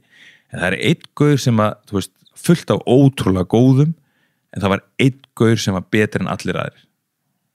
Og þá horfum ég þetta bara af hverju? Þá getur, getur maður að fara í rókæð það er, það lendir í þessu þú veist, ég er alltaf stigakongur verður aldrei meistari, þarf að leggja meira á harðar að sér, en hann fór þá leið. Og það sem er verið einmitt að taka og rífi upp alltaf með Kobe Bryant núna skilu, það er alveg það sama. Mhm. þú veist, bara þú veist, workað þykki hjá þeim var bara á einhverju allt öðrum staðu eða leveli heldur en það er hjá þessum venjulega manni. Hvað verður úr lífin á með sko, ég er ekki að segja að það er allir að verða svona, alls ekki. En, en þú veist, þú finnur fyrir því alveg sjálf þegar þú ferði að eða of miklum tíma í þetta. Og ég hef líka gert og ég hef sagt það til dæmis við dætu mína sko, maður kom fúll heim eftir leiki eitthvað, nú er ég alls ekki að bera mig saman við Michael Jordan og Kobe Bryant, bara þannig að það sé alveg á hreinu. En þetta element sko, og náttúrulega miklu minni íþrótt og miklu, allt, allt öðrum skala sko, en að þú veist, þú einbeitið þér svo mikið að þessu. Og svo kemur það síðar bara, heyrðu, þú veist come on, ég slefti einu svona landslýsverð líka því að ég sagði bara, heyrðu, nú ætla ég að vera pappi, þú veist, ég er bara þetta er bara, ég er búin að þú veist, vannrækja kannski eitthvað eða, þú veist, ef að kona mín hefði ekki þú veist, verið með stjórn á öllu skilur sem er búin að, þú veist vera með stjórn á heimilinu og öllu er bara þú veist, við skiptu öllu máli að ég hef getað að lifa í þeim kassa sem að ég lifi en eins og sé þegar ég, þegar ég horfa þetta ég sé bara, þú veist þetta er það sem að líf þeirra hefur snúist um bara frá A til Ö. En af hverju þeir verða svo betri heldur en aðrir á samtíma leikmenn það er eitthvað sem er svo erfitt að veist, bara það er út af þessu eða út af þessu eða hinu en það fyrir ótrúlega mikið með hausin að gera líka, ekki bara líkamann sko. Já, eitt af því var náttúrulega sem að tók eftir hvað Jordan var ótrúlega góður að móti vera sjálfan sig. Já, hann líka lauga sjálfum sér og hann trúði líginni sem að hann lauga sjálfum sér. Það var þetta good game Mike hérna, augnablik, sem er bara ótrúlegt sko, að hérna, hann hafa bara búið það til í hérna, hausnum á sér. Já, já, hann sagði að, að þú veist, þegar að þú veist, þjálfur Seattle George Karl hafi lappað fram hjá hann og ekki heilsa og það bara, ok, í sína morgun svo er bara sagt, þetta gerðist ekki. Nei, þú veist, og það er en, en þú veist sumi segja uppfullur að sjálfum sér og svona og, og eitthvað, en ég ég var svo mikill, ég var, þú veist 90 eitthvað, ég var úlingur, ég var að taka þetta upp á, á vídeospólur og horfa á þetta aftur og eftir og vakta á nætuna og, og þú veist, fekk að panta með pítsu frá Jón Bakan og, og mannstu getið því kannski? Uh, ekki neitt sko. Ég er svo gammal Æ, allt í leið, kemur, áfram. En- en- og með þetta, já, það er eins og segið, þú veist, það er það sem að ég tek frá því bara, ok, þetta er tekið innan úr búnisklejun og þá sér maður þetta er ekkert svo mikið öðruvísi heldur en er hjá, þú veist, bestu liðum í, í mörgum íþróttum. Nákvæmlega. Að það er, veist, það er kerkja það er ekki allir vinir en svo þegar það er unni þá er heldur gaman. Já, en, en þarna, þú veist triksi til þess að móti vera sjálfan sig þarna bara, hann með eitthvað ótrúlegan hérna, on-switch þarna. Já, Ert þú sjálfur sem svona einstaklingur í liðsýþrótt? Þú veist, þú náttúrulega, ég meina liðinu getur gengið vel en þú getur samt átt slæman leik og þið vinnið samt. Eða þú getur átt frábæran leik en liðið á slæman leik og þið tapið Mm. Veist, en þú ert svona gæðin sem að tekur ábyrð á því sem er að gerast og ég meina þú ert að leita þér hjálpar utan handbóltarhefingarna eins og þú ert að leita til Jón Sarnars og að, Mm. að, hérna, allra þessa þú veist, varstu einhvern tímann með einhver triks til að móti vera sjálfa þig til þess að svona drífa þið svolítið áfram og ég er svolítið að reyna að vitna í núna metin öll sem átt sem eru náttúrulega bara ótrúleg þú veist, auðvitað skiptir þetta ekkert máli fyrir þig, þetta er ekkert að markmið að ná einhverju metum, þú ert að spila með liði mm. en hefur þið geta hætt og lokið ferlinum án þess að hafa náð mörgum af þessum metum sem hún náður eins og til dæmis bara að vera markaðasti landslýsmaður já, já Er það? Já, já, já. það var ekkert sko en þú veist, þegar að fara að íta því að þér og hérna líður mér samt smá asnalað því þú opnar þetta sko með því að tala um Les Dance og Michael Jordan sko og að spyrja hvort að ég sé sé með ykkur að því að við erum að tala um sko þú veist, þú ert að tala kannski um meistaradeildina og við tala um, þannig að þú veist en ég, ég skil hvað það er að fara, ég vil bara afa á reynu og ég vil ekki samnefnarinn er að þeir eru winnerar. Já, Þú veist, þið skarið fram úr því sem við þið sem gerir heimsmetafar kannski, ég veit ekki, nei, allt í leið um, um, sko það sem að mér þykir ennþá og það sem að ég er svo þakkláttu fyrir sko, þegar ég skora marki sem að uh, gerir mig að marka þesta leikmanninum uh, er að, að sko, við erum einhverjum sjömörkum undir. Ég er komin út af og mér er skipt inn á veist, gerir svo að segja, þú kemur inn á og tekur hérna næsta vita, að þú veist, það vissu þetta allir. Og við erum að tapa leiknum við erum æfingarleik í Þýskalandi, eigum þannig ekki möguleika í, í leik, þú veist, erum konið það langt undir. Og ég skoraði þetta mark um, svo sem að er að, að kynna á leiknum það er kynnerinn hjá Rænekka Löfin liðinu sem ég var að spila á þeim tíma. Mhm. og hérna hann sagði mér þess að sögu síðan sko, að það kom einhver úr íslenska hópnum og segir við hann að næsta mark sé heimsmynd og ég, það frétti ég bara fyrir tveimvíku síðan þegar hann hérna, ringdi mig og vorum að tala saman. Þá hérna uh, en að sjá viðbröðin hjá strákonu skilur og ég var þú veist bara eitthvað ég vil vera að tapa þessum leik og ég var ekkert búin að vera góður og, og eitthvað og kem inn og tek víti og hleyp sér hann aftur út af.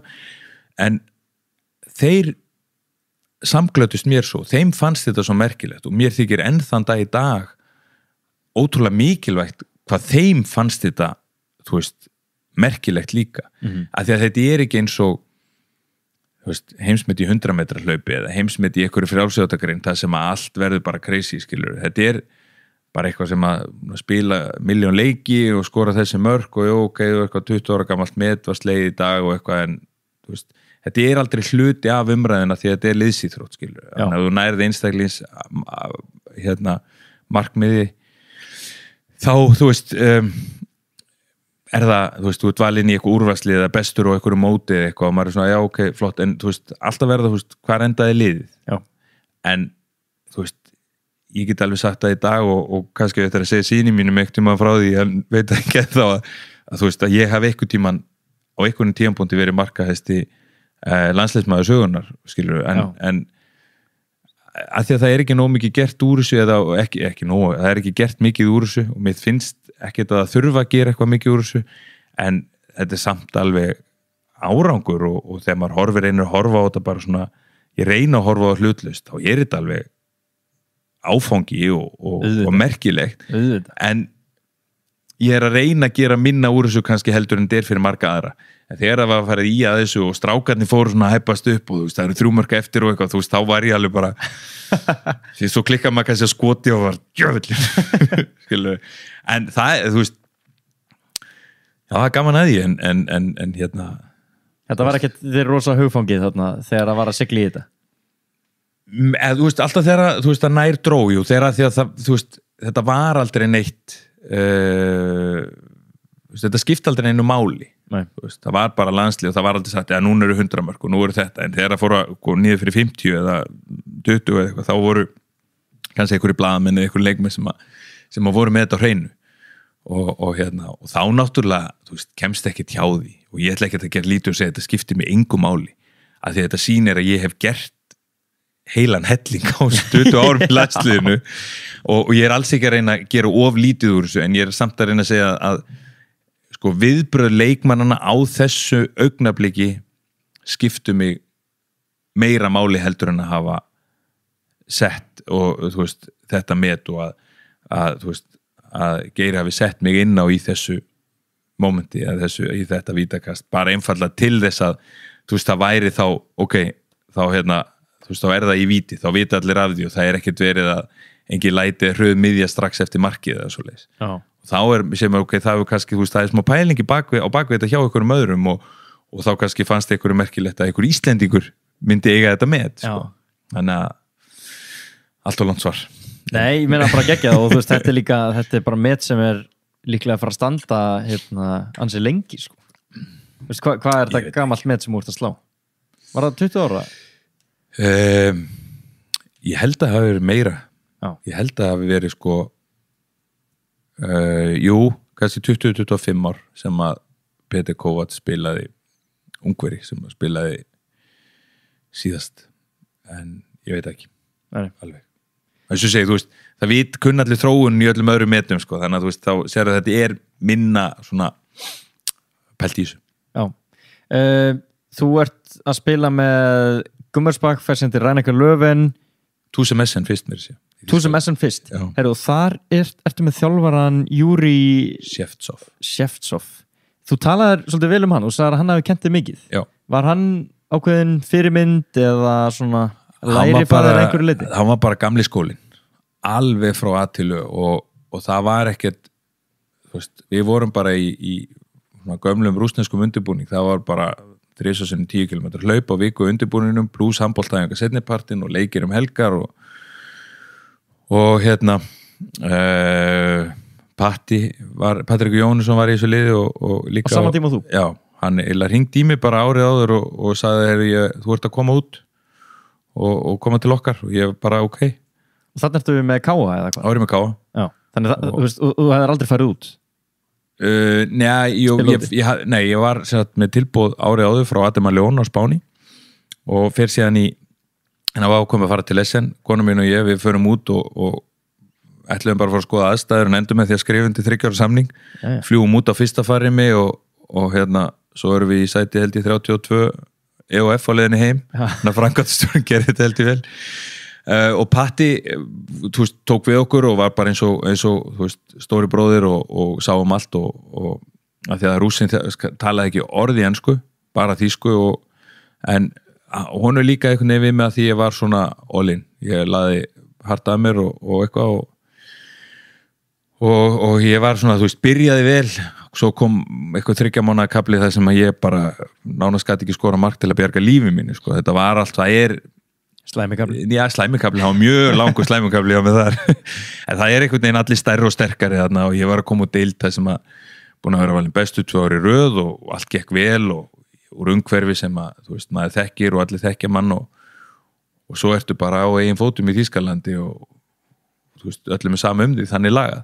Komin í miklu stærri tjörn.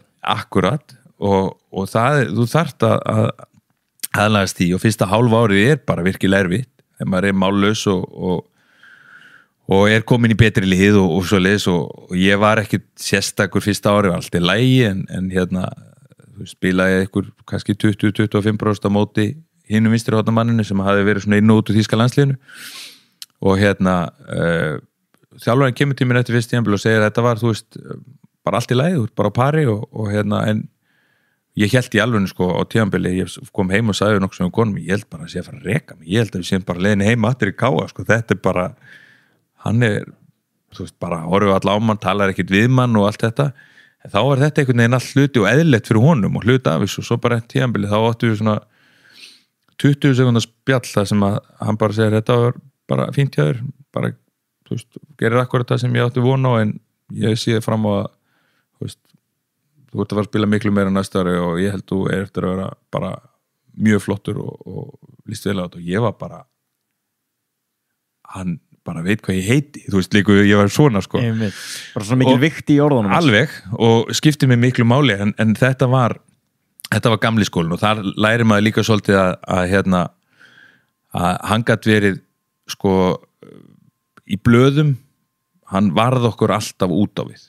Hann var alltaf, þú veist hann var aldrei að rósa sjálfum sér hann rósaði liðinu og ef það var einhver slæmukabli hjá liðinu þá fann hann einhverjar útskýringar eða eitthvað en svo kom hann og lokaði hurðinni á klefanum og þá sátu við og áttum ekki vona góð og þá erum við að tala um alveg svona alvöru uh, læti og öskur og móðganir og allt það sem að stat, satstundum bara hann sagði þetta ekki við hann. Og svo er bara ok, allt í leið, ára gakk þannig að þú veist, en, en þá þarf maður líka að hugsa sko úr hverju koma þeir? Veist, hann kom úr hernum og hann þurfti að vinna eða var skráður í hérin en spilaði með, með hérna eh, með, með besta liðin í, í, í Sovjetregjónum þáverandi og þeir þurfti að vinna ákveði marga titla til þess að fá tvekja herbygg íbúð og flutti þanga með konu og foreldrum og börnum og, og svoleið sko, þannig að veist, það er svolítið, er svolítið annar bakgrunnur og, og aðrar ástæði fyrir því að, að menn sé að leggja sér fram í íþróttum sko, og, og þetta er ótrúlega magnaður og, og flottu kall og er, er hérna landslýstjálfur Kvítrúsa í dag og hefur held ég alveg örgla bætt sínar þjálfunar að fyrir aðeins frá því þá en þá náttúrulega er þetta bara þú veist, það var tíðarandin var sá þarna, þú veist, þá voru langklub miklu algengari heldur en til dæmis indi var laup og, en hann var hann var harðið nagli. Og en getur þessi ekki líka svolítið af aga eða? Bara svona svo, hvað var það mætingu eða þess að þar Jú. þú ert stundvís Já, eins og komið ljóð setna á já, þú ég, bara ringir og undaður eða þú varst tveimur mínútum og sett sko. já, ég hefði ekki, ef þetta verið æfing þá hefði ég ekki verið á sinn þá hefði ég bara að- að- það var að því að ég var þau myndum að segja að því ég ákvað að klára æfinguna sem að ég var á sko, og strákurinn að klára skólan í morgun og svona þá svona, þú veist ekki ennþá þjálfari minn þannig Nei. að ég þarf ekki en ég Ekki vildi, nei, ég vildi ekki láta það vita. Ef ég kemur hlaupir þá þarf það að þjálfa mig. Það var eitthvað ræðilegt maður. Ég myndi reyna að þjálfa Guðjón í hlaup já, en, en þú myndi stinga með alveg potið sko.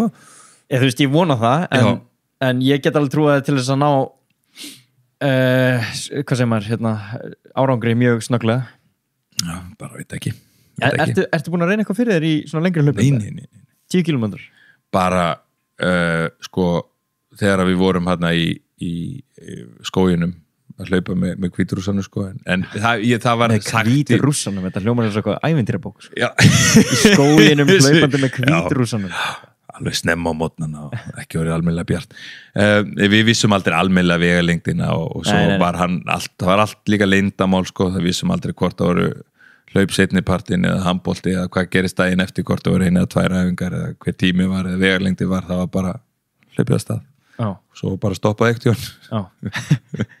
Ég læti ekki vita hvernig já, þetta er búið.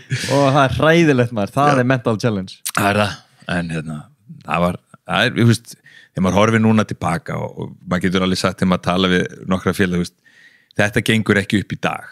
Veist, þetta er veist, þetta var okkar möguleiki að láta draum okkar rætast og það voru ekkert kannski jafnmarki sem stóði í röð þá að taka þína stöðu og, og, og, og það er í dag sko, en, en þú veist, eins og sé tíðarandin hefur breyst í, maður hefur upplegað tíman að tvenna í sportinu jú, jú, heldur betur. Uh, tímiðin hjá AG Copenhagen. Já, var það ekki eitthvað skrautlegt eða? indislegt þú talar um þetta sem skemmtilegasta hérna svona, já ok einna, Já. með skemmtilegri tímum. Sem mútti spila fyrir félagslið.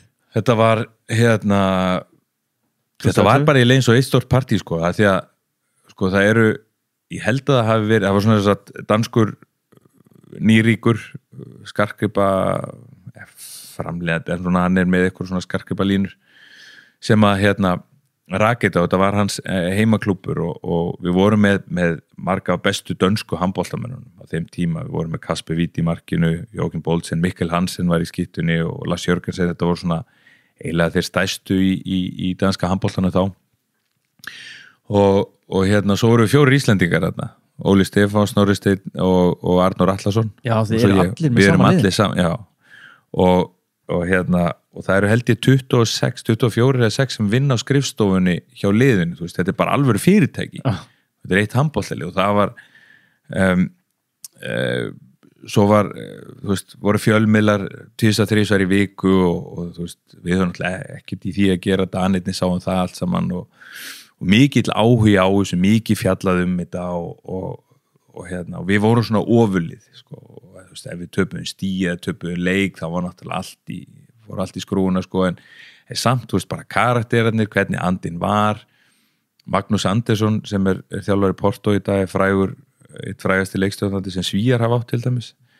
Uh, hann var þjálfari hjá liðinu frá með oktober eða november og, og þú veist, hann var eitthvað að reyna að sína sína vídeo einu sinni og, og ætla að hafa þetta eitthvað lengra og, og ítalegra og þá er Jóakim Boltsen sem að sitja bara og er bara oh, við erum búinir að sjá þetta og eitthvað svona, veist, það var svo mikil eitthvað reynsla og festa í liðin og aldrei eitthvað kjaftaði eða slæm framkoma eða eitthvað að slaka á sko, en enginn heldur of góðu til að, veist með ekki skjóta á næsta mann eða þurfa að taka við frá einhverjum öðrum þannig að hérna, þetta var uh, bara geggjaðu tími og er ástæðan þá aðalega brúta liðsfélagunum og svona stemningunni eða? stemningin og í klefanum og, og bara þetta var frábært og upplifað og hvernig danirni voru sko, danirnir eru náttúrulega brjálega sko handbólta áhagamenn Mhm. og eru með ótrúlega gott landslið en líka það að við séum þú veist, fyrst danskara liða til að komast í, í Final Four keppnina sem er úslita helgin í, í meistaradeildin í Köln og, og, og hérna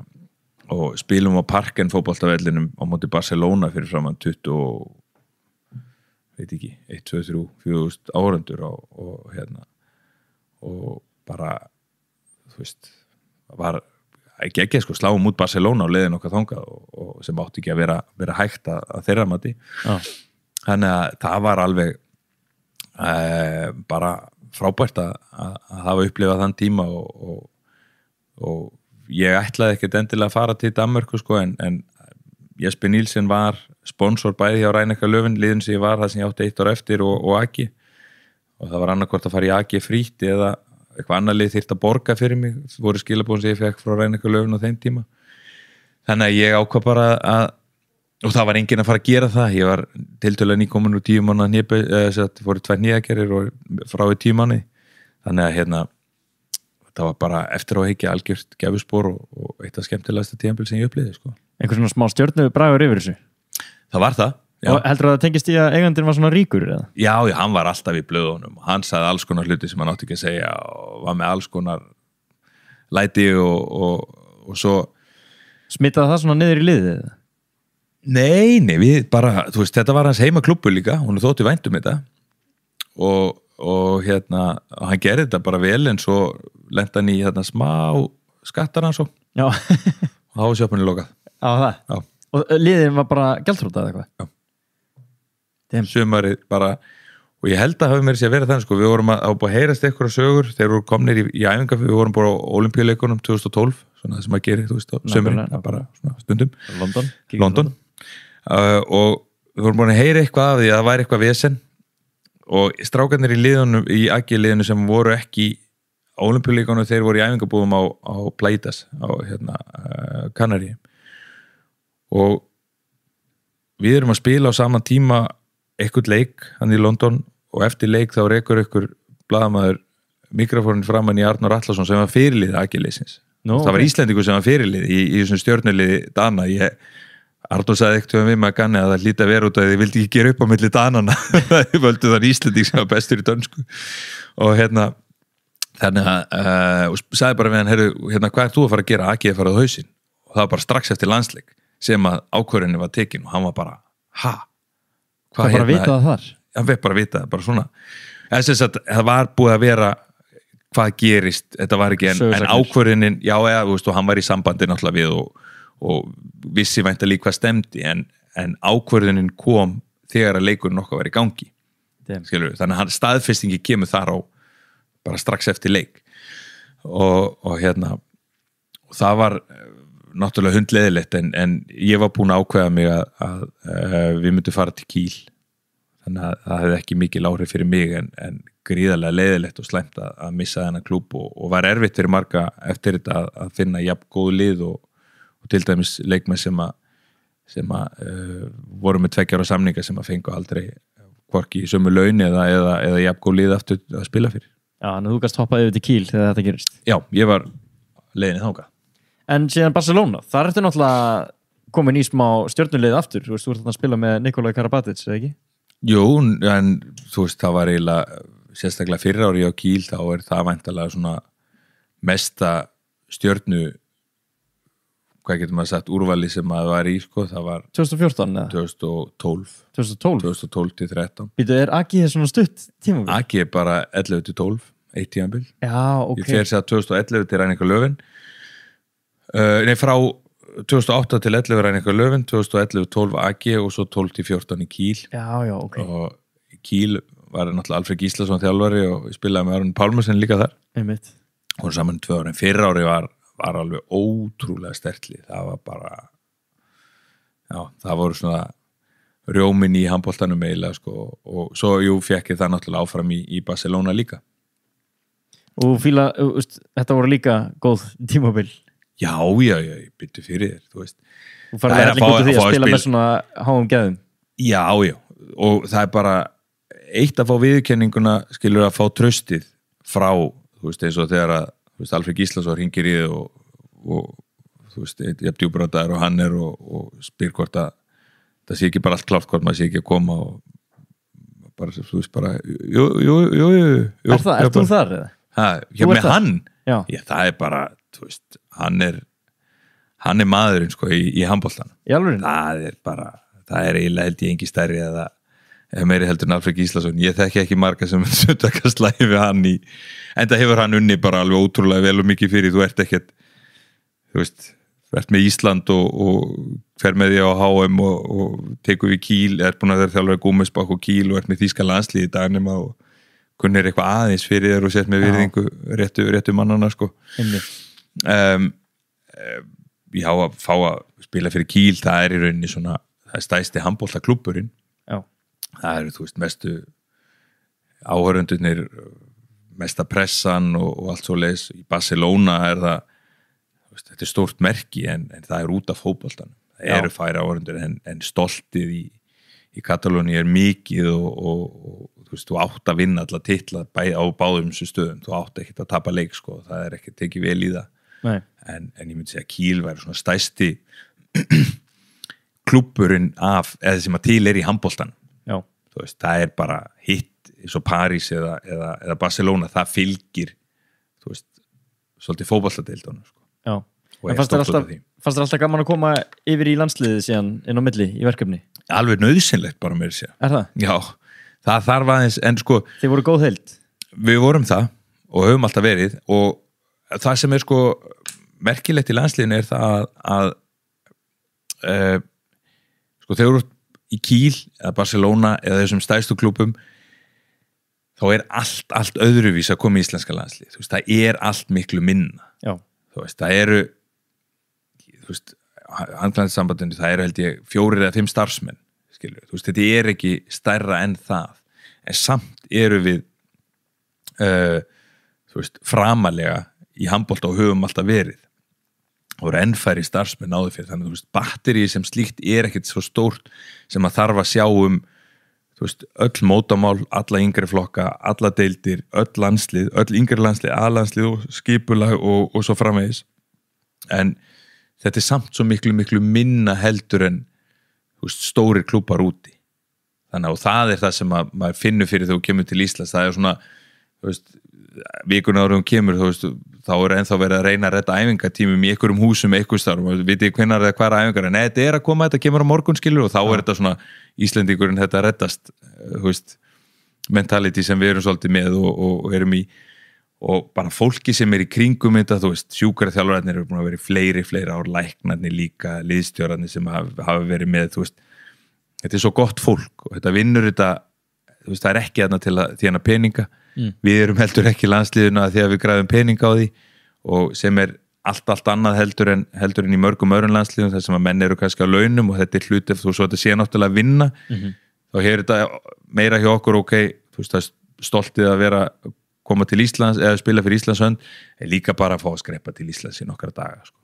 Þannig að þú veist það er hefur líka skipt máli sko, en, en allir hafi ekki komið svona í heildina samt stóru mínus út úr landslýsferðinu ferðlinu með að eins og þú veist þegar fjölskyldur koma á, á stórmót og leiki þú veist, þá fáum við ekkert hótel eða með á leiki, við kaupum það allt saman. Já, já, þannig að en, en samt sem að það er sko miklu meira en þess virði að hafa eitt öllum þessum tíma og, og, og hérna og þessum metrum í, í, í landsliði sé, svo alls, sé alls ekki eftir því. Nei, en, en eins og ólimpíuleikarnir allir eins og við erum Já. aðeins búin að koma inn á þú veist, þú ert búin að fara á allavega er ekki þrýr, nei fjórir. Þrýr, þrýr, fjögur, átt og tólf. Já, fjögur, átta og tólf. Um, náttúrulega átta mjög hérna, vinsælir ólimpíuleikar fyrir handknallegin á Íslandi. Um, þú veist, er þetta er þetta klikkað að fara sem íþróttamaður og fá að vera ólimpíufari? alveg, það er bara þú, þú ert ekki þáttakandi í lífinu eða heiminum í svona þrjár vikur. Já, það er bara olimpíuþorpið, þú lappar þetta er eins og að fara á flugvöld, sko, þú verður ekki ennum vopna leitt og þú kemur svo ertu bara inn í þorpi og þú stendur sko í röð í matsal sem er svona, þú veist, 8 eða 10 þúsund manna matsalur, bara stór tjöld og þú getur valið bara allt sem þú vilt. Þú veist, það er McDonalds í einu hótninu eða þessuna tveimur hótnum og svo ertu með uh, þú veist, vilt pítsu, pasta, kjöt þú veist, vegan það er græmmetis, þú veist, það er bara nefndu það, það er hana Mm. og svo er reynur að vera með þitt svæði með þínu liði en það tekur oft tímtu korter að ná þér í alla matiðinn og, og, og það er allt frýtt þarna. Já, og svo eru sjálfsalar fyrir drikki og það er allt frýtt þarna. Og svo veist, býrði ég ykkur í blokk þú ert með þitt herbyggi og það er eins hrátt og það getur verið. Það er bara, það er eitt skápu fyrir þig og, og félagin, það eru tvö rúm tvö náttbór, tvö lampar og svo er líkil í skúfunni þannig að þú getur læst henni. Já. og svo ferðu líkil að herbygginu þínu að því hverri íbúð er sófi, tveir stólar eitt sjónvarp og fjögur herbyggi þannig að það eru átta, staðlað. alveg. Já. bara, þetta er bara eins hrátt eiginlega og það getur verið og, og orðið. Og þú býrð bara þarna í þrjár vikur eða þær og halva þrjár vikur. Þú ferð þú hittist, liðið hittist eitthvað og fer með rútu í höllina og það eru sko metisfresti er eitthvað sjálfbóðalið sem að segir í hvað áttu átt að labba og allir er að benda svona í sömu átt. Og það var þannig í Kína. Þegar við vorum með sko, við vorum svo marga sjálfbóðalið að það var ég, ég bara, við trúðum því ekki þegar við sáum það. Og svo er búin að æfingu þá er bara allt eftir stundatöflu sko, svo fer rútaðin klukkan þetta með tilbaka og þá er borðað og svo er kannski einhverju fundir eða eitthvað. En svo ertu bara inn í þessu þorpi. Þú fórum einu sinni eða tvisar í, í, í Kína. Einu sinni fórum við í bæinn og svo fórum við á Kínamúrun eftir móti að því við vorum í tvo, þrjá daga eftir mót. Og, og hérna þú, þú heyrir í fjölskyldunni og þú ert bara ok, já, hvernig hafið þau eitthvað og þessi var að gera þetta hitt og svo stendur ok, ég ætla bara ég ætla að fara að fá mig kaffi eða borða eða eitthvað og þú notar enga peninga. Þú ert bara hluti af þessari, þessum íþrótta eða viðbörði, þessum olimpíuleikum dagskráðinni fyrirfram ákveðin og allt sem að fyrir utan þetta þorp er þú ert ekki hlutaði, þú tekur ekki þátt í því. Já, og það er svo skrítið. Og svo þegar þú kemur út aftur olimpíuleikarnir eru búinir og maður fer heim til sín og maður vakna bara fyrst og bara eitthvað að já, ég þarf að gera og virkilega búa mig til morgumat já, ég er að fara hérna veist, með krakkana í skóla eða leikskóla eða eitthvað svona, þú veist þetta er ótrúlega skrítið versus eins og þú ert á stórmóti í handbólta þá veist það svipað, þú ert með mörgum liðum kannski á hóteli, þú ferð út og hitti fjölskyldin í kaffi eða þú þú veist, þú veist hvað er að gerast í kring sko, já, já. en meiri sér olimpíðþorpinu sko, þú veist þú veist, þú getur farið á netið og eitthvað svoleiðis en, en samt sem aður ertu með þú veist, sjónvarp í íbúin og þá getur verið að horfa á bara beina útsendingu frá öðrum olimpíuhöllum og völlum já. þú setur ekkert á, þú veist, Rúf eða Stöð 2 eða Sjófar Símans eða CNN eða eitthvað svo leiðis Þú ert bara að taka þátt í ólimpíuleikunum þú ert bara á olimpíuleikunum og þú skalt horfa á já. og það er það sem er svo magna við og öðruvísi olimpíuleikana skilur, og það er, þú veist, fyrir utan að vera bara sama lið og þeirra gengur vel og veist, þetta er gaman og heiður og hitta alla íþróttamennina, þú veist. Bandaríska köruboltalanslið kemur á heimsókn í þorpi þá verður maður alveg eins og veist, lítill sex ára strákur aftur sko og er bara, og, og þú veist, þegar að veluna hafa þetta koma tilbaka þú veist, þú fari í matsalinn og er ennþá með betalíðunar um hálsin og veist, þetta er þetta er svo, það er svo súræðlist sko, og þú situr kannski við liðin og bara, veist, þetta er svona langi bekkir þetta er bara eins og í vatnaskói þetta er ekkert öruvísi, þetta er ekkert eitthvað það er engin luxus á þessu. Og, og, hérna, og það kemur kannski ykkur og þú veist, hann var að koma úr velunafningunni bara var svangur ætla að fá sér eitthvað að borða og hann er kannski með guttsilfur að brons bara á borðinu eða ennþá um hálsin og er að fá sér Big Mac eða eitthvað skilur. Ólimpíu gull og Big Mac akkurat, og það er, þú veist þannig voru við til dæmi, skilur en, en og þú veist, stemningin þú veist, þetta, þetta, á, þetta er það er skrítið að lýsa þessu öðruvísi heldur en bara þú kúplaði bara út úr lífinu. Þú veist, eins og ég segi, ég fer upp í sumabústa og slæka á símanum eða eitthvað, þú veist, já, fyrir mér er, var þetta þannig, sko, þó svo sért virkilega, þú ert að vinna bara að þessu já En er það ekki geggjað upp á að fá bara fókusa á þetta? Ég meina, þetta er náttúrulega bara mikilvægasta í lífiðinu hérna á þeim tímapunkti Akkurat. að geta verið svona ótrúlega fókusur ég- og fyrir þjálfarinn svo bara hafa ekki áhugjur að því að íþróttamennir sé að pæli einhverju öðru eða gera eitthvað annað, þeir vita bara, herru, nú er þetta í olimpíuþorpinu Akkurat. við erum bara lokaði fyrir umheiminu og það er líka úr samstæðan þú veist, í, í öllum íþróttahópnum sko, að fara og horfa á á þeirra keppa eða fylgjast með því og sjá, þú veist, vombriðin eða hvort að fólk sé, veist, eða það meiðist eða, eða þú veist, það gengur vel eða gengur illa eða, eða svo þú veist, þetta er það er ótrúlega magna, ég menn ég ringdi í kona mín ekkert og ég sagði hann, er, ég lið bara eins og ég sé bara fættu fyrir þetta, þetta er bara mitt og eitthvað, sko, veit ekki hvort þú eru aldrei ég kem ekki áttur heim eða eitthvað, mér fannst bara olimpíuleikarnir bara, það er það er Það er ekki Og margir sem fá að fara á þrjá svo leið sko. Nei, við ætlaði að loka þessu líka á olimpíuleikunum í sumar sko, en við vorum fyrstilega ekki nógu góðir og svo var þeim fresta svo var eitthvað pest þarna að ganga. Eitthvað, er eitthvað, var eitthvað já.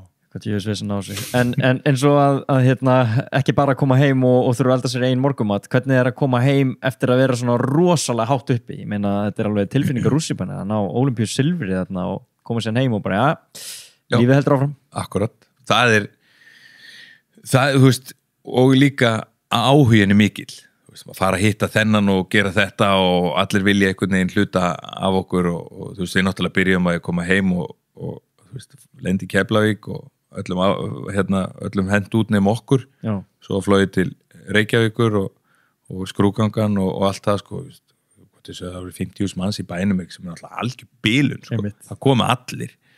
Og, og þú veist, móttökuna voru bara og svo, þú veist, hérna til fósettans og þetta var, þetta var mjög óraunverulegt en, en manni þykir mikið vænt um, um en þennan tíma og að hafa fengið að vera hluta af þessu, það er náttúrulega bara alveg alveg geggja sko. Já og þau varst ekkert mála að síðan bara ja, mæta aftur veist, uh, þarna ferðu út til Þýskalands eftir þetta? til rænekalöfin, það voru ömurlegt.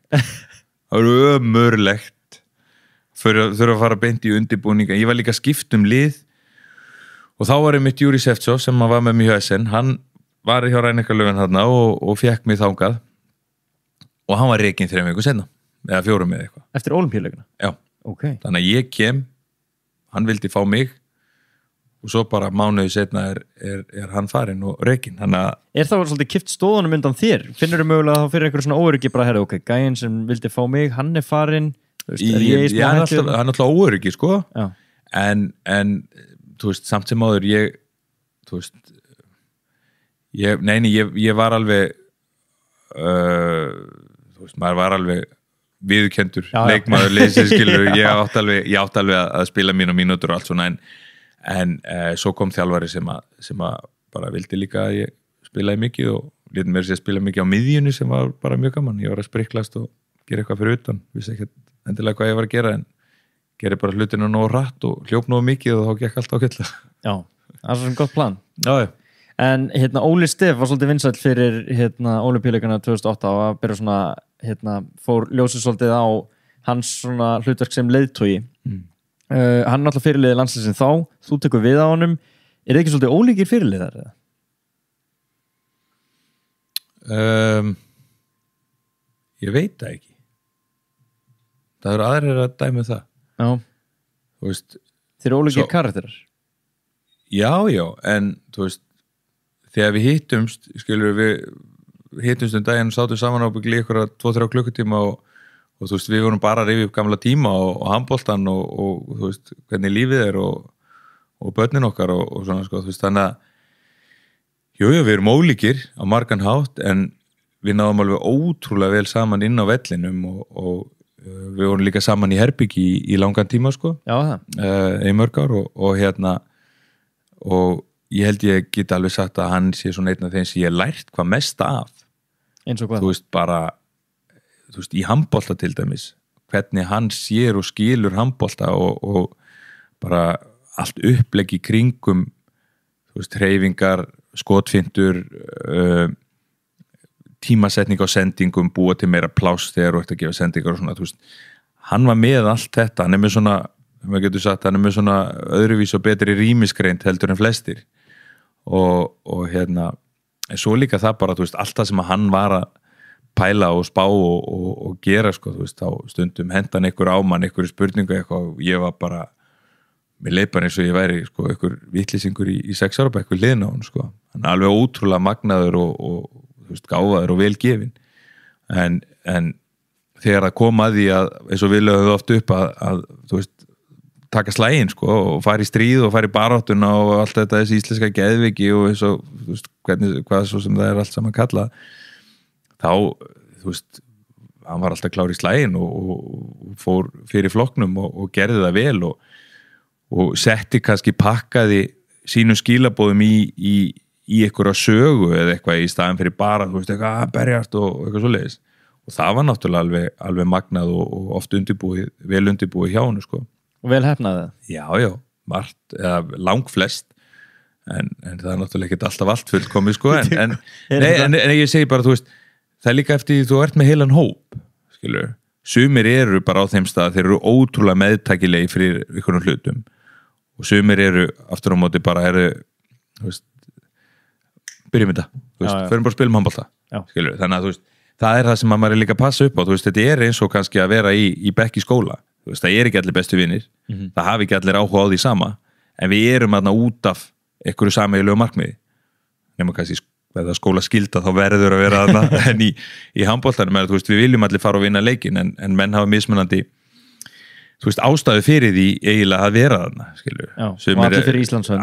Já, já, allir fyrir Íslands hönd en, en ef ykkur vil, þú veist bara liggja upp í rúmi og leika sér í tölvunni eða meðan annar vil þú veist, vera að spila eða tala við félagan eða drekka kaffi eða, eða lesa bækur, skilur, þú veist það er allt sem að þú finnur í svona hóp og það er það sem er svo merkilegt og gama við það þegar maður hefur síðan orðið og er að reyna að ná til manna að reyna að hafa það kannski ekki of flókið eða of hjartnæmt eða of væmið eða of harkalegt að því að þú þarft að, þú ert að tala við kannski 16 til 20 manns mm. í einu. Já, og ég er langt í frá því að vera eitthvað góður ræðumæður eða, eða hitt alltaf naglan á höfuð og það var náttúrulega það sama þú veist, bara áviðum, áviðum Óla en hann er frábær uh, á þessum tíðanpunkti fyrir okkur og þetta lið var hann bæði frábær leitói og náttúrulega ótrúlegur handbóltamæður en það sem að skipti líka máli ekki bara það sem að sagði heldur var það sem hann var að gera með félagslegun hann var svo fyrsti okkar í rauninni til að ná öllum þessum árangri veist, vinna meistaradildina hvað er það fjóru sinnum svoleiðis og, og spilum alla stæstu og, og, og, mestu og bestu titlana sko, og vera í bestu liðunum og vera álitin eitt besti leikmaður í heimi veist, hann var þannig laga líka fyrirmyndin og leitóin okkar ekki bara því að hann sagði eitthvað eða hafði eitthvað betri hugmynd sko, heldur, hann lifði það. Og það er það sem er svo áþreifanlegt fyrir okkur og þá kemur það inn ef að menn hafa mismunandi áhuga mál eða sjá hlutin á mismunandi hátt hjá honum var þetta bara, þú veist, þú gast hort og hans það bara, er besti handbóltamæður sem eigum og veist, hann og, og Aron Pálmarsson að Íslendingum er allavega bestu handbóltamenn sem ég hef spilað með sko. og þá er það náttúrulega herru, þú veist, hann er kemur samt í landslið og hann er á æfingum og hann er að gera þetta og þá náttúrulega er þetta bara herru, þetta vil ég. Það skiptir ekki, miklu meira máli fyrir mér heldur en bara veist, hvað sagasörð og hvenar sko. einmitt, það sem hann gerir frekar heldur en það sem hann er að segja akkurat, það, það spilar inn í veist, Já, karakterinn og álitið á, á manninum og, og sem að skemmti náttúrulega alls ekki fyrir. En það má ekki gleyma því sko þegar fólk er að segja, veist, Óli er svona eða, þú veist hefði átt að gera hlutina svona eða eins, þú veist, bara eitt besti handbóltamæður í heimi. Mhm. skilur, hvort sem að var í, í heimsbyggi eða, eða í, í rafvirkjun, skilur, Já. hann var bara eitt besti handbóltamæður í heimi. Já. og síðan þegar þú ert að fara að halda þessar ræður uh, fannstu fyrir þessu líka að, að, hérna, mæta inn í klefan og vera kannski að peppa upp menn og líka sína það bara fyrir yngri gæjum að bara, herru, þú veist ég spila fyrir Íslands hönd og ég er stoltur þig og ég mæta á æfingar Já, en svo náttúrulega kemur líka stundum með maður bara Jésús, hvað er ég að gera eða segja eða eitthvað? Stundum verðum þú veist svo, svo þú ert með hóp, stundum lestu hópin bara vittlust skilur, eða þú veist, þú ert með eitthvað herru, það eru fjórir hérna af kannski reynsluboltunum sem að fer og nýpir eitthvað í og segir, herru, þú þarft aðeins að hérna, þú veist, við erum oft döfir eða við erum ekki alveg með þetta og, og, og hérna, við þurfum aðeins að æsa þetta upp. Og þá, þú veist, og er alltaf gott að geta, þú veist, að lappa maður á, á þú veist, Bjögga, Aron, Kára Adam Hall eða sem dæmi bara og þú veist, Kári getur þá komið og, og slegið eitthvað vel eða, eða þú veist, sagt eitthvað eða Aron fer og tala við eitthvað nákvæðin eða, eða þú veist, Bjöggi reynir að hepa þetta eitthvað upp. En svo getur þetta kannski verið bara þú veist, loknað undan storminum. Stundum erum við bara einfallega ekki á réttri bílgrin en þá reynir maður að, að finna eitthvað en, en sko það er eitthvað neginn þú veist, það verður hlutur fyrirlega að segja eitthvað og þó svo ég hafi bóðið þó nokkrum að, að bara taka eitthvað tring eða segja eitthvað fyrir mig eða, eða, eða við hópin en stundum þarf maður ekkert að segja. Stundum er bara betra að segja eru, þú veist, veru klárir eða þú veist, það þarf ekkert, þú ert ekkert alltaf inn að finna upp hjólið og, og, og þú átt heldur ekki að þurfa að mótivera menn með ykkur hörku ræðu eða með ykkur morðum það á að vera ábyrg hvers og eins og það er það sem ég reynir frekar að segja mönnum þú veist, ef þú kemur inn á og klúður öllu skotunniðinum það er enginn að fara að ráðast á þig. Það skiptir ekki máli þarf bara að gera þitt besta. Það, við höfum allir átt leikið þessum við höfum ekki skora mörg. En þú veist, eignaðu þér það og ekki kenna neinum öðrum um það. Skilur en ekki koma inn á að vera farþegi og býð eftir að allir aðrir gera eitthvað fyrir því þú veist, þú ert í landsliðuna að því að þú átt að skilið og þú vannst þér inn fyrir því og farið bara nú og njóttu þess og gerði þitt besta. En eins og segi með ræðurnar það er oft þú veist, ef það væri myndavel eða mikrofón á þeim öllum þá væri maður bara get alveg lofaði því. Og ekki til í að það hefði verið teknar upp? Nei, held ég ekki, en þú veist, stundum er og svo, þú veist, eru sumir bara djúðlar þetta flott í dama, þetta á gott með þetta á salda og svo er einhver sem eru bara eitthvað þetta var hérna það, það er að því að þú veist, menn er á mísöfnum stað þannig að þú nærið aldrei, þú gerir eitthvað sem er maður er alltaf að reyna að gera fólki til geðis Já. skilur, leðum maður átt að sér síðan að eru, þú veist, sjálf að þið fyrst og þá getur þú verið betri við aðra og allt það. En þú veist, þú gerir aldrei öll til geðis Nei. maður á ekki að pyrra sér við þeim sem að finnst maður ekki vera nógu góður eða, eða í rétt stöðu. Nákvæmlega. Hver er þetta stoltastur af svona á ferlinum? Þú ert alltaf búin að vinna alla þessa titla og úr með öll þessi met. Er eitthvað sem að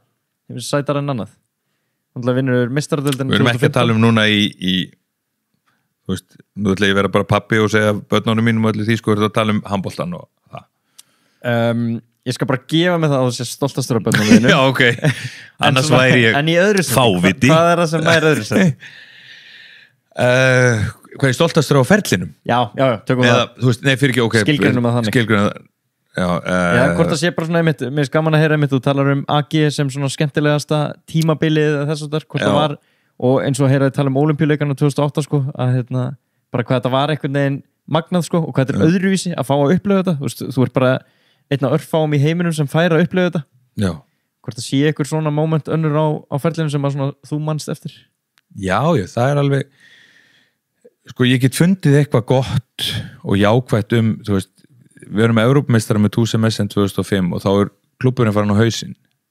Við erum með, vinnum hérna Európakenni félagslega töpum fyrirleiknum með 8 mörgum og vinnum setni leiki með 9 mörgum það skora á síðust sekundunni en við vissum jafnframt að, að hérna eh, klubburinn væri farin á hausinn. Og við áttum ykkur að þrjá eða fjóra deildalegi eftir og við töpum öllum að að það voru sumur sem voru meittir og letu skrá sig að tryggingakerfi í Þískalandur öðruvísi en, en ná, þannig að við höfum ekki fengið laun í þrjá mánuði eða fengum ekki laun í þrjá mánuði og þeir voru ekki að borga tryggingar þannig að við þurftum að fara og skrá okkur atvinnuleysa þannig að við vorum atvinnuleysisbótum að því að e, til að halda tryggingum eða, eða eitthvað svo leis og það var einmitt sko vera íslensku landslýsmaður fara þú veist vera atvinnumæður í Þískalandi, vinna titil og svo hérna færðu eða þú veist þarft að skráði til að halda þínu réttindum sem e, í tryggingakerfinu þá ferðu skráður þig atvinnuleysan að því að klúburinn er, er gerur gjaldrúta og þetta var eitthvað mánuður eða tveir heldi sem að við vorum, eða var mán, júnimánuður held sem vorum þessum og svo byrjaði næsti samningurum minn eða hjá okkur öllum hjá öðru liðum frá um 1. júli og þú veist þá er ég rosalega stoltur einmitt að því liði það sem að veist, við vissum, við vorum ekki að þessu fyrir laun. Einmitt. Þú veist, við vorum, það hefði ekkert mál verið fyrir ykkur að segja, herrið, þú veist, gleymi þessu ég teki þátt í þessu, ég teki þessu áhættu. En það var samt eitthvað veist, við séð þeimleikir eitt rúsnesku línumæður hjá okkur, Dimitri Torgovanov hann uh, fyrir úr axlalið eftir einu hóla myndu og þegar eru 11 myndur liðnar að leiknum sér að það er ekki 10 myndur setna og stendur hann aftur inn á vellin lætur bara, bara í liðið aftur og kláraði leikin og skoraði síðan sigur markið þú veist, þegar maður hugsa um svona atvik þá er maður bara, þú veist, ég var hlutað ykkur svona. Um, og svo þú veist get fundið mörg svona þú veist, títilli sem við vinnum 2014 með, með kýl þar á markatölu. Við erum tveimur mörgum betur markatölu en ræna eitthvað lögum þurftum að vinna ef við vinnum síðasta leikin á heimaðalli með 14 mörgum og, og hérna og hérna ræna eitthvað lögum unnu sinnleik veist, bara með held ég 5 eða 7 eða eitthvað svo leist, þú veist, það þurfti eitthvað skrítið að gerast og, og, og þú veist, þegar ég hugsa um það þá er einmitt svona svona eitthvað svona traust sem að sem að Alfred Gíslason setur hefur náttúrulega á liðin og tala við leikmenn og leggur upp leiki en hann kom til hérna, veist, Arons og mín og sagði bara hérna, veist, það var alltaf að djöblast í mér ef ég hljópa og snemma staðið eða mista frákast eða eitthvað.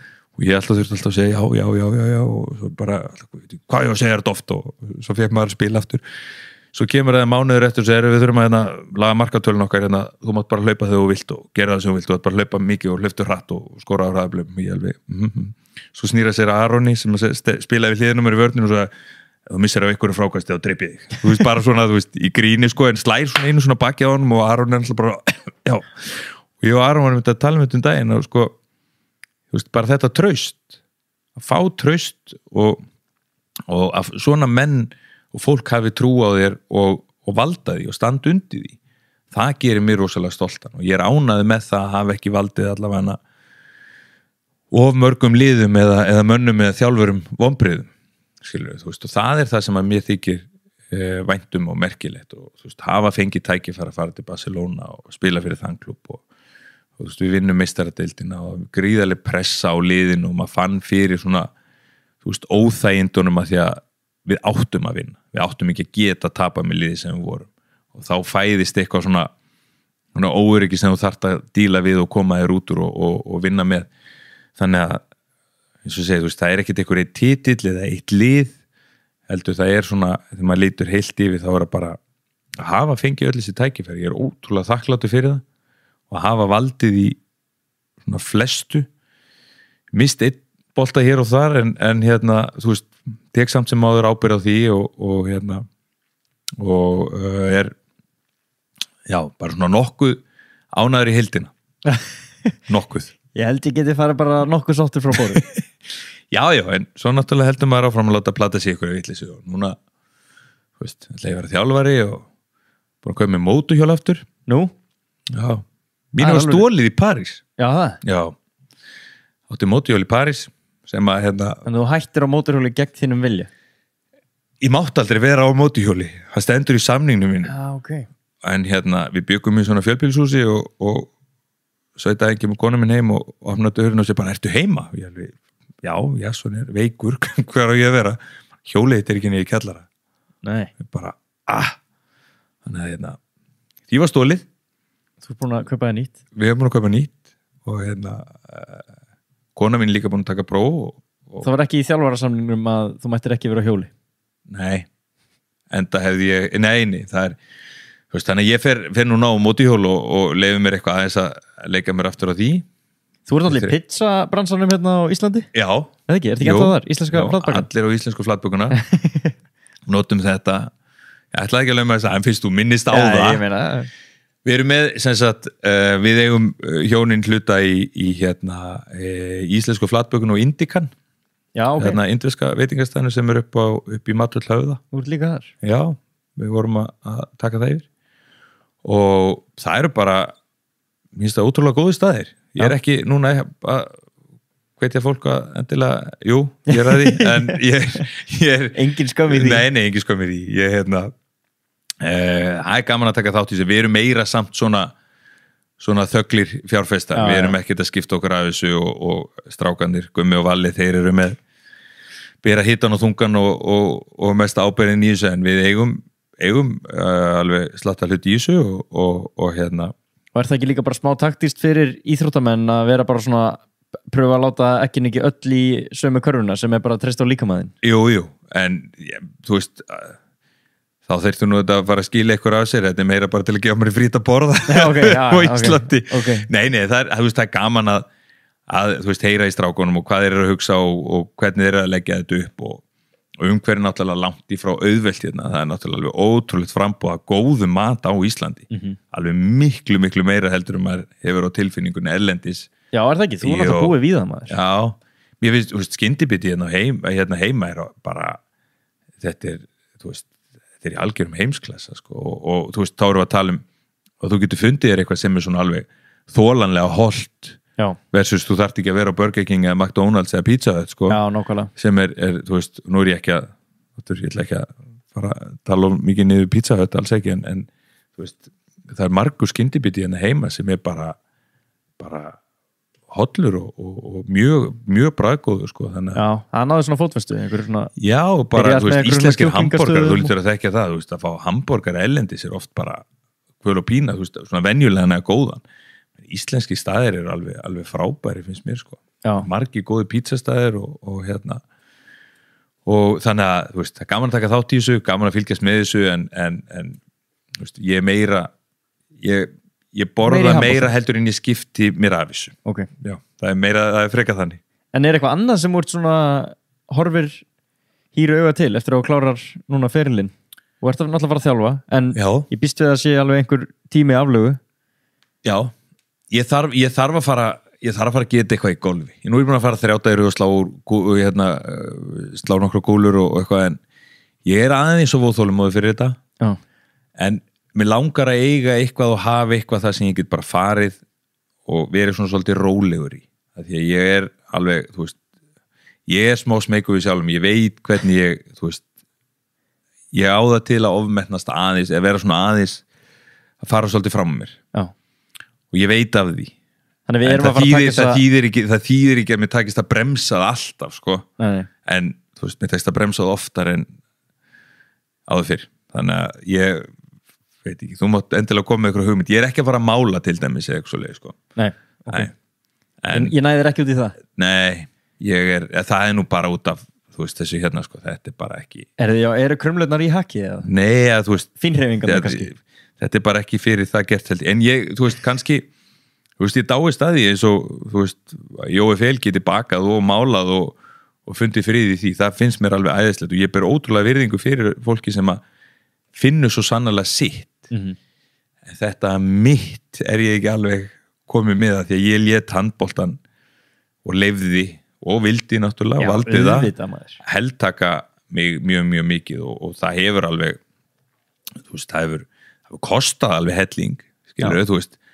Við förum ung norður þú veist, þannig að vinahópurinn sem að var í og með og, og gekk í gegnum gagfræðaskóla sem dæmi, þú veist, ég fer norður í þrjú ár og þá, þú veist, er eins og maður fer inn í, inn í nýja klíku eða, eða þú veist, nýtt gengi, sko. Og svo fer ég út og ég er út í 20 ár og skiptum lið á, á þú veist, tvekja til, til hérna, þryggjára fresti. Þannig að þú veist, ég þekki fólk út um allt ég geti farið bara nánast í hvaða Evrópuland sem er og, og fengi gistingu bara á núleitni sko ef að ég þú veist, vildi ekki fara inn á hótel. En þú veist það er miklu erfiðar að halda þá þú veist, vínasamböndum þegar maður er alltaf á ferðin og búin að vera svona lengi sko, það er miklu, miklu erfiðar heldur en eh, maður, þú veist, hefði haldið.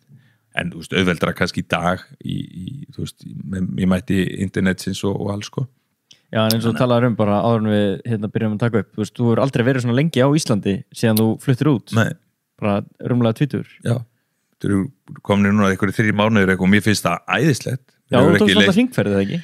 Herði, ég fór hringferð á húsbíl. Í alvörn? Já, það var geggjað. Hvernig var þetta? bara, mér leiði eins og svona, við værum í rauninni bara svona paljurætni í heiminum. Já, það var engin á ferðinni, já náttúrulega engi túristar maður. Engin túristar og Íslendingarnir er ekki ennþá farnir af stað. Við gáttum leift okkur að fá, að fá frí fyrir strákin að því að hann er, var bara gestur í, í skólanum hérna á Íslandi. Já, og veist, flest hótel lókuð vegasjóppur bara í þú veist, allt er bara keirt niður einhvern veginn, þú veist, veitingastæður út á landi, kaffihús á í litlum þorpum mestalegu opið yfir helgar. Það var allt bara það er allt bara á, á nulli og tjálsæðin sem við vorum á voru bara, þú veist, ef það var einn max tveir með okkur, á þremur stöðum voru við ein.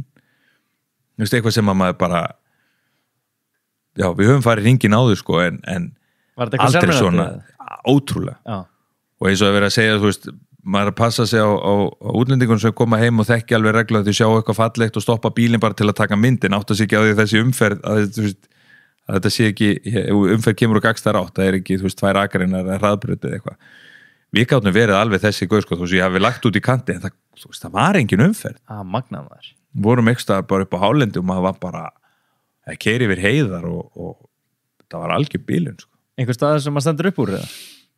uh, já, alveg þó nokkrir ég var bara vestfyrirnir, allir, bara eins og þau leggja sig. Tókst alveg einhver túr þar upp eða? bara alveg vestfyrirna byrjuðum bara, kynum fyrst suðulegin og upp á, upp á í gegnum hérna, Táknafjörð og Patrísfjörð og, og upp á í gegnum hérna Flateri suðuriri og, og, og út á suðuriri og, og hérna uh, Ísafjörð, Bólungavík og svo hinum einn tilbaka og, og, og hérna það var, það var líka frábært viður Já, og hérna það var aðeinslegt, svo fór ég og hitti gamla vina á, á Akureyri fórum, eða fórum síðan hérna Tröllaska fórum Hofsós og, og Siglufjörð og, og þar og, og Dalvík og þáleiðin á Akureyri.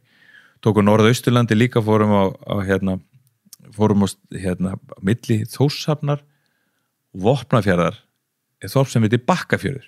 Ok. Ég mitt held bara að það væri bara ykkur fjörður, en pingulítið þorp. Ekki búið að opna tjálsveðan eitt við fengum að gista þar og, bara veist, þetta eru staði sem ég hafði ekki farið á eða vissi ekki af og, og bara þú veist ótrúleg kyrð og friður og, og, og rólihitt og veist, mér fannst þetta bara fannst þetta meira áttar En engin svona COVID-hræðsla eða? Eh, ekki að- Nei, við vorum náttúrulega bara einn Já, en, og þau þurft að fara inn á bensinstöðu eitthvað, var fólk ekkert eitthvað, herru, Nei, Guðan Valur ekki koma nei, þú veist, við tók alltaf bensín í bara Já, sjálfsalan ok, ok.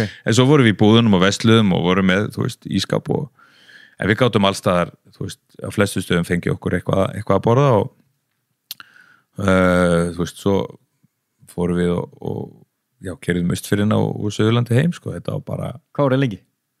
13 daga, Já, 12, 12 daga. Já, það fóru alveg góðan ring já, náðum held ég held ég að ná 2000 og, hvað sagði, 2900 km Já, náðið þeim, já, vildur ekki tætti 3000 það var ekki metnaður sko, þetta var bara það sem ég fekk frá bíllegunni á síðan sko, kílómetra. þú veist, reikningur sem að koma þú náði þessu, það var ekki eitthvað sem ég laði upp með en ótrúlega, ótrúlega gaman og, og þú veist, svo er ég er, Vestmann er núna næst á dagskránu heimsækja Kára vinn minn og að þá er ég búið með þetta. Það er ekki að geðast þar. Indislegur, mér maður- líður virkilega vel bara í Vestmannu, lappa upp á heimaklætt standaðir í smá stund bara og maður fæ bara einhvern veginn svona daglegan skamt af innri frið með að Já. fara þarna sko. er alveg samanlega, þetta er bara við erum með sko núna í næstu hugu veit ég ekki hvernig ætlar að vera með þetta það er handbóltskóli í Vestmanni sem við erum að fara að vera með Já, einmitt, sá það eitthvað auglist Já, og, og hérna og það er bara sé, verður, þú veist, æðislegt að vera í Vestmanni og Hvað, þrjár kempur bara að kenna ungliða hreyfingunni? já sko segjum tvær kempur og uh, þrý leikmenn, Ellingur Richardsson og, og ég væri þá kempurnar að því við erum hættir Já, Kári Kristján, Bjarki Már Elísson og Aron Pálmarsson. Já, ó, þeir eru svona margir. Já, ah, það verður alveg hörkustuð Allir að láta sjá sig þar. Já, vonandi, það væri gaman Nei, nei, það það væri gaman og, og hérna eins og segi, það það er alltaf, mér líður alltaf gaman að fara til Vestmanni Já, það gekkjast þar. Heru, Ég get ekki sleppt þér án þess að hérna, uh, fara eins yfir káa markið fræga með þér og Segðu mér þetta, ef þú ert ekki um Mósusbænum og þú heldur ekki með afturheldingu? Nei.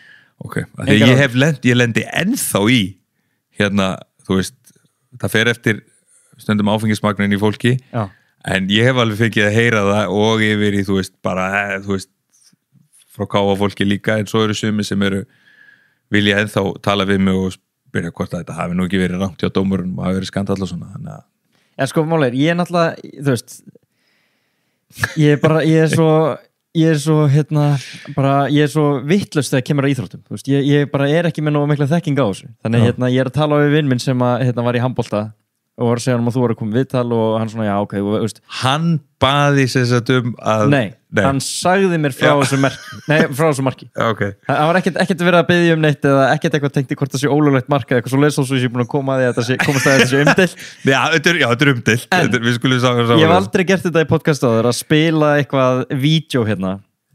En ég læta að flakka núna fyrst það er þú. En ég horfði á þetta. Já, og er náttúrulega og það er bara það sem lýsirinn er að segja sem ég finnst Samuel Örn Erlingsson. Þetta er svo geggjað. Já, Þú veist, hend, hendum þessu bara í gang. Eins, eins frábært útvarp og þetta er.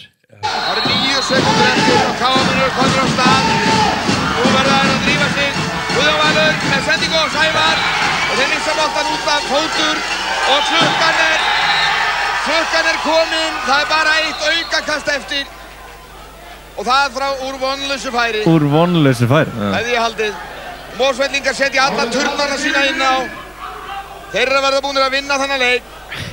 24-23, klöyfalegt að káða mennum að nota ekki þessar nýju segundu til að búa til skot. En það er að hlaupa um aftan út af og það eru þeir sem er að ljúka þáttöku sinni á Íslandsmótinu. Hann er búin að afskrifa þetta margt. Sko. Já, já. Guðjón Valur tekur skotið. Á mótið þessari vörð. Og skot! Ég hef ekki til auka tekið orð! Þetta mark! Það er Sáuðu samt sko- þetta mark! Ég hef ekki til orð! svo Þetta segir, hann, svo segir hann á eftir held ég, ef þetta er ekki reyfari þá er ég indjóni Já, einmitt, hann segir eitthvað eitthvað, síru það var eitthvað sem að, sem að sagði við það veitu, við varum bara býtu hvað þýðir það en mér, já, ég sko,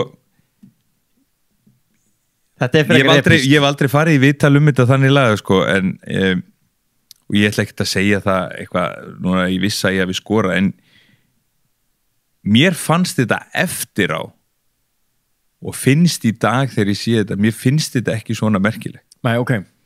Þú veist, þetta er ótrúlega gaman og mér þykir vænt um þetta og það hanga myndir af þessu upp í káaheimilinu sko. Já, og ég var að nefnir labbaði með strákið minn innan en daginn var að hitta hérna, Jónatan Magnússon og Sverri Jakobsson þjálfari á káa og þá sá hann myndir af veist, þessu atvikið með hand, ha- sett, upp í loftinu. Og veist ég veit ekki, ég vill ekki hljóma veist, sjálfumglaður eða arrogant á eitthvað nátt sko en mér fannst þetta bara svo góðu möguleiki. Og mér fannst þetta bara svona þeirri, bara eins og ég sá þetta fyrir mér, það gekk upp en er ekki ekki, þú veist, eins og en það er, en það þykir ekki að mér þykir ekki vænt um þú veist, minningin Að og, og, og, og þú veist, þetta er ekkert þú veist, það eru það eru mörg mörg sem ég sé hjá handbóltamönnum sem að, þú veist, hafa meira með einhvers konar skotækni eða einhverja líkamsreifingar eitthvað það sem maður er bara wow, hvað þetta er vel gert og fólk, margt fólk fattar það ekki. En þetta er meira, þú veist, út af eh, hólunni sem voru komnir í sko. Við vorum, þú veist, tímabilið var búið. En þetta er líka svo dramatíst þú veist, Tíminn rennur því. út. Já, Þið fáið þetta eina aukakast. Já. Lýsir segir úr vonlausu færi. Og, og hérna þið eru búin að kasta þessu frá okkur. Og síðan bara hamrar boltanum inn sko, tekur eitthvað stærsta skref til hlýðararna sem hægt er. Ég er ekki eins og svona liður slítur hann að báða nára Já, já, já, tegið þið til hægri og hit, hittir hún stönginin já. Veist, þetta er bara svona sama hversu lítill skilninguðinn á handbolta er maður sér bara, herru, þetta var mark. Já. Ég held ég held ég sé- Já, ég held að sé akkurat það er frekar þú veist, menn hafa oft skorað á raukakostum ég held að sé frekar aðstæðunar veist, þetta var þriðileikur þú veist, þetta var bara win or go home moment. Þú verð bara uh, þú veist, vorum á heimaðalli vorum búin að standa okkur vel, vorum unglið vorum svona spútniklið tímabilsins og mikið læti og í kringum okkur og, og þannig að uh, þú veist, ég held að það sé þú veist, bara, ok, við áttum möguleik og svo dramatíkin verður ekkert minni í það er bráðabanni sem er eftir þetta. Þetta er held ég með þessi önnu framlegging og uh, í bráðabannanum hérna, þú veist, byrjar afturhelding með boltan, við vinnum boltan uh, fiskum víti og komumst áfram á því að skoru víti í bráðabanna eftir að hafa haldið okkur svona inn í leiknum. Þannig að veist, það var svo mikil dramatík og kannski hæpast það upp ymitt út af þessu að því að og sé margóft menn skora beint úr fríkasti og, og hérna þannig að þú veist, það, svona, þetta, þetta, veist, það er allt í lagi að þetta auðlist eða eigi sitt líf hérna heima sko, svona þess áfram en, en kannski að því þetta var umdelt mark, umdelt samanlistu það Já, þetta er geggja mark og ég, eins og ég segi, bara þú veist maður þarf ekki að skilja mikið eða vita mikið um handbólta til þess að sjá að þetta er bara geggja ég held að þetta heiti mér þess að fyrir fólk sem vil sjá þetta uh, ótrúlega markið gegn afturheldingu, heitir þetta á YouTube Já. Guðjón Valur Sigursson, ótrúlega markið gegn afturheldingu Herru, síðan reyndar, Gauti Gretars talaði um að það var eitt mark sem að hérna uh, heldi smá bensin og sjálfstöðstíðist það var hérna uh, í einhverju byggarleik gegn fram, það sem þú tekur eitthvað sirkusmark. Stekkur upp í teig og, og skorar, mannst þetta því marki? Já, Hann sagði eh, mitt, spurðu Guðjón hvort hann mun eftir þessu marki. Já, sko, sko, nú ætla ég að vona að ég fara ekki með rátt mál að sko, við vorum úti undir, át, hérna, undir átjánarlandsliði á æfingamóti í Þýskalandi. Og nú held ég þess að fara með alveg rétt mál. Ég var, Gauti laði áherslu á það að fá mig heim í í byggarleika móti fram og þessi, ég vona að þetta sé ekki alltaf að fara í, í grautjum en það var allavega þannig að ég þurfti að fara á undan liðinu heim held ég, til þess að ná einhverjum leik með liði sem að veist, sem að ég var eiginlega ekki í byrjunuliðin í Mm. sem ég var bara svona einn af farþjóðunum og hérna og mamma er reyndar alltaf að tala um hún var alltaf að tala um Gauta, hvort þetta væri ekki á mikið og mikið og mikið og var eitthvað að hafa áhyggjur og, og, og hérna og þau töluðu þó nokkur sinni saman og oftar heldur en ég fekk að vita af út af einhverjum áhyggjum hjá henni að ég væri að gera út af mig. Uh, uh, og hérna já, nú veit ég okkur það var allt í leið en allavega þá kemur sko um þessi leikur og þá er þetta eitthvað ymitt á móti framliði sem að var átt að vera betri en við. Og þetta var ég man ekki hvort það var sigumarka jöfnunmark ég held þetta að vera jöfnunmark þá er ymitt leggur hann upp með eitthvað, eitthvað sirkuskerfi sem að var ekkit oft spilað þarna í, í gamla daga sko.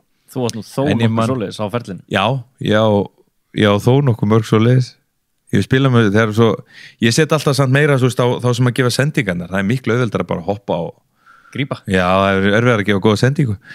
En ég mani mitt eftir, mér rámar eitthvað, eitthvað í þetta sko, en það er einhvern veginn eins og að komi saman þessi tímasetning sko uh, með uh, það að, að uh, ég hefði þurft að fara fyrir úr landslýsferð til þess að ná þessum leik. Mm. ég, sem ég átti ekkert að vera í að því ég var í undir átjörnarlastin, ég var ekki komin í meistaraflokk. Og svo fekk ég eitthvað svona eins og segi, fekk trú frá honum og, og trausti frá honum. Þannig að það væri gaman að gauta á þetta ábyggilegstur á vídeospóli þar var Ah. kíkja hefst til alveg potið gauta þetta alveg, sko 100% á gautið þetta ekstar, en ég man ekki eftir að hafa séð þetta ekstar Það er ekkert nettara heldur en þessi sirkusmörk sko. Ég var að horfa með eitthvað svona highlight-vídeó á YouTube að þeir bara, Já. þetta er alveg þó nokkur sko. já, og síðan líka eitt hérna, ég held að sé á HM 2018 ja, nei, HM 2018 EM Þar sem að 2018. Þú ert að taka, þú ert að taka víti og hérna er búin að taka einhverja gapreifingar og hérna vippar hún síðan yfir já, hleypur í burtu en bolti fyrir stöngina. Já, sem allir kemur á flegi ferð inn í ramman aftur og kýlir boltan inn. Já. Það er líka, já, það er samt einhver það er eitthvað svona hvað maður að segja, það er svona eitthvað smá instinkt í manni sem að fær mann til að prófa hluti sem að kannski gaman þegar ég gangu upp. Já. þetta er mjög kjánalegt ef ég hoppa samt ég hitt ekki boltan og enda bara með brunasár á, á löpin en það er, þú veist, já, já. Ég hef- skorað nokkur nokkur svoleiðis sirkusmörk en það kannski var, og þá verður mynd sko þjálfara sem að sjá, heyrðu, hann getur hoppað, notum þetta, þetta er sniðut en er kannski ekki jafn sniðut ert með leikmur sem getur ekki hoppað.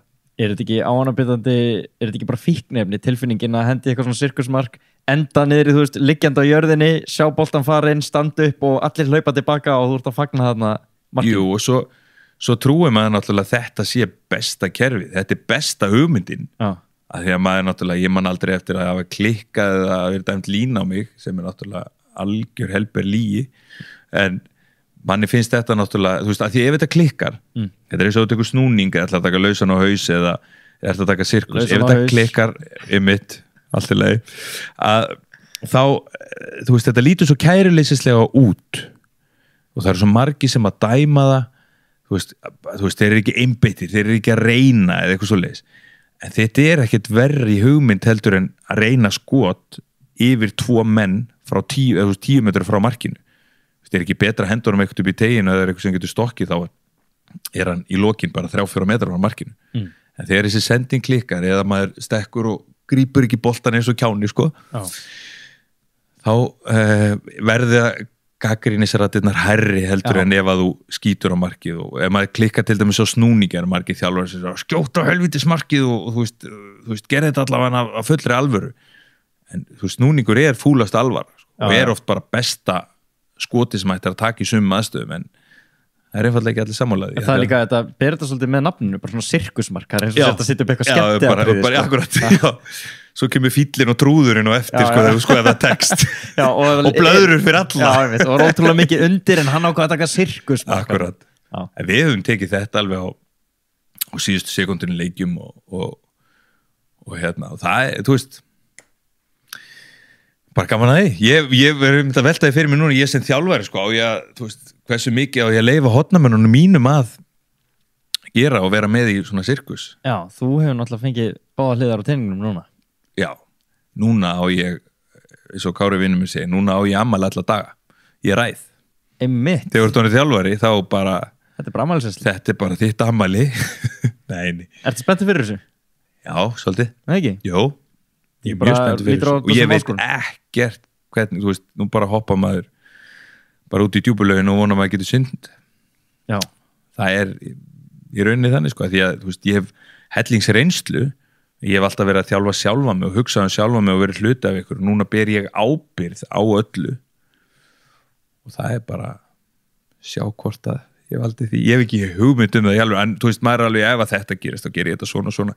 En það er svo fullt af hlutum sem er eftir að koma mér á óvart og, og, og ég, þú veist, ég veit það þó.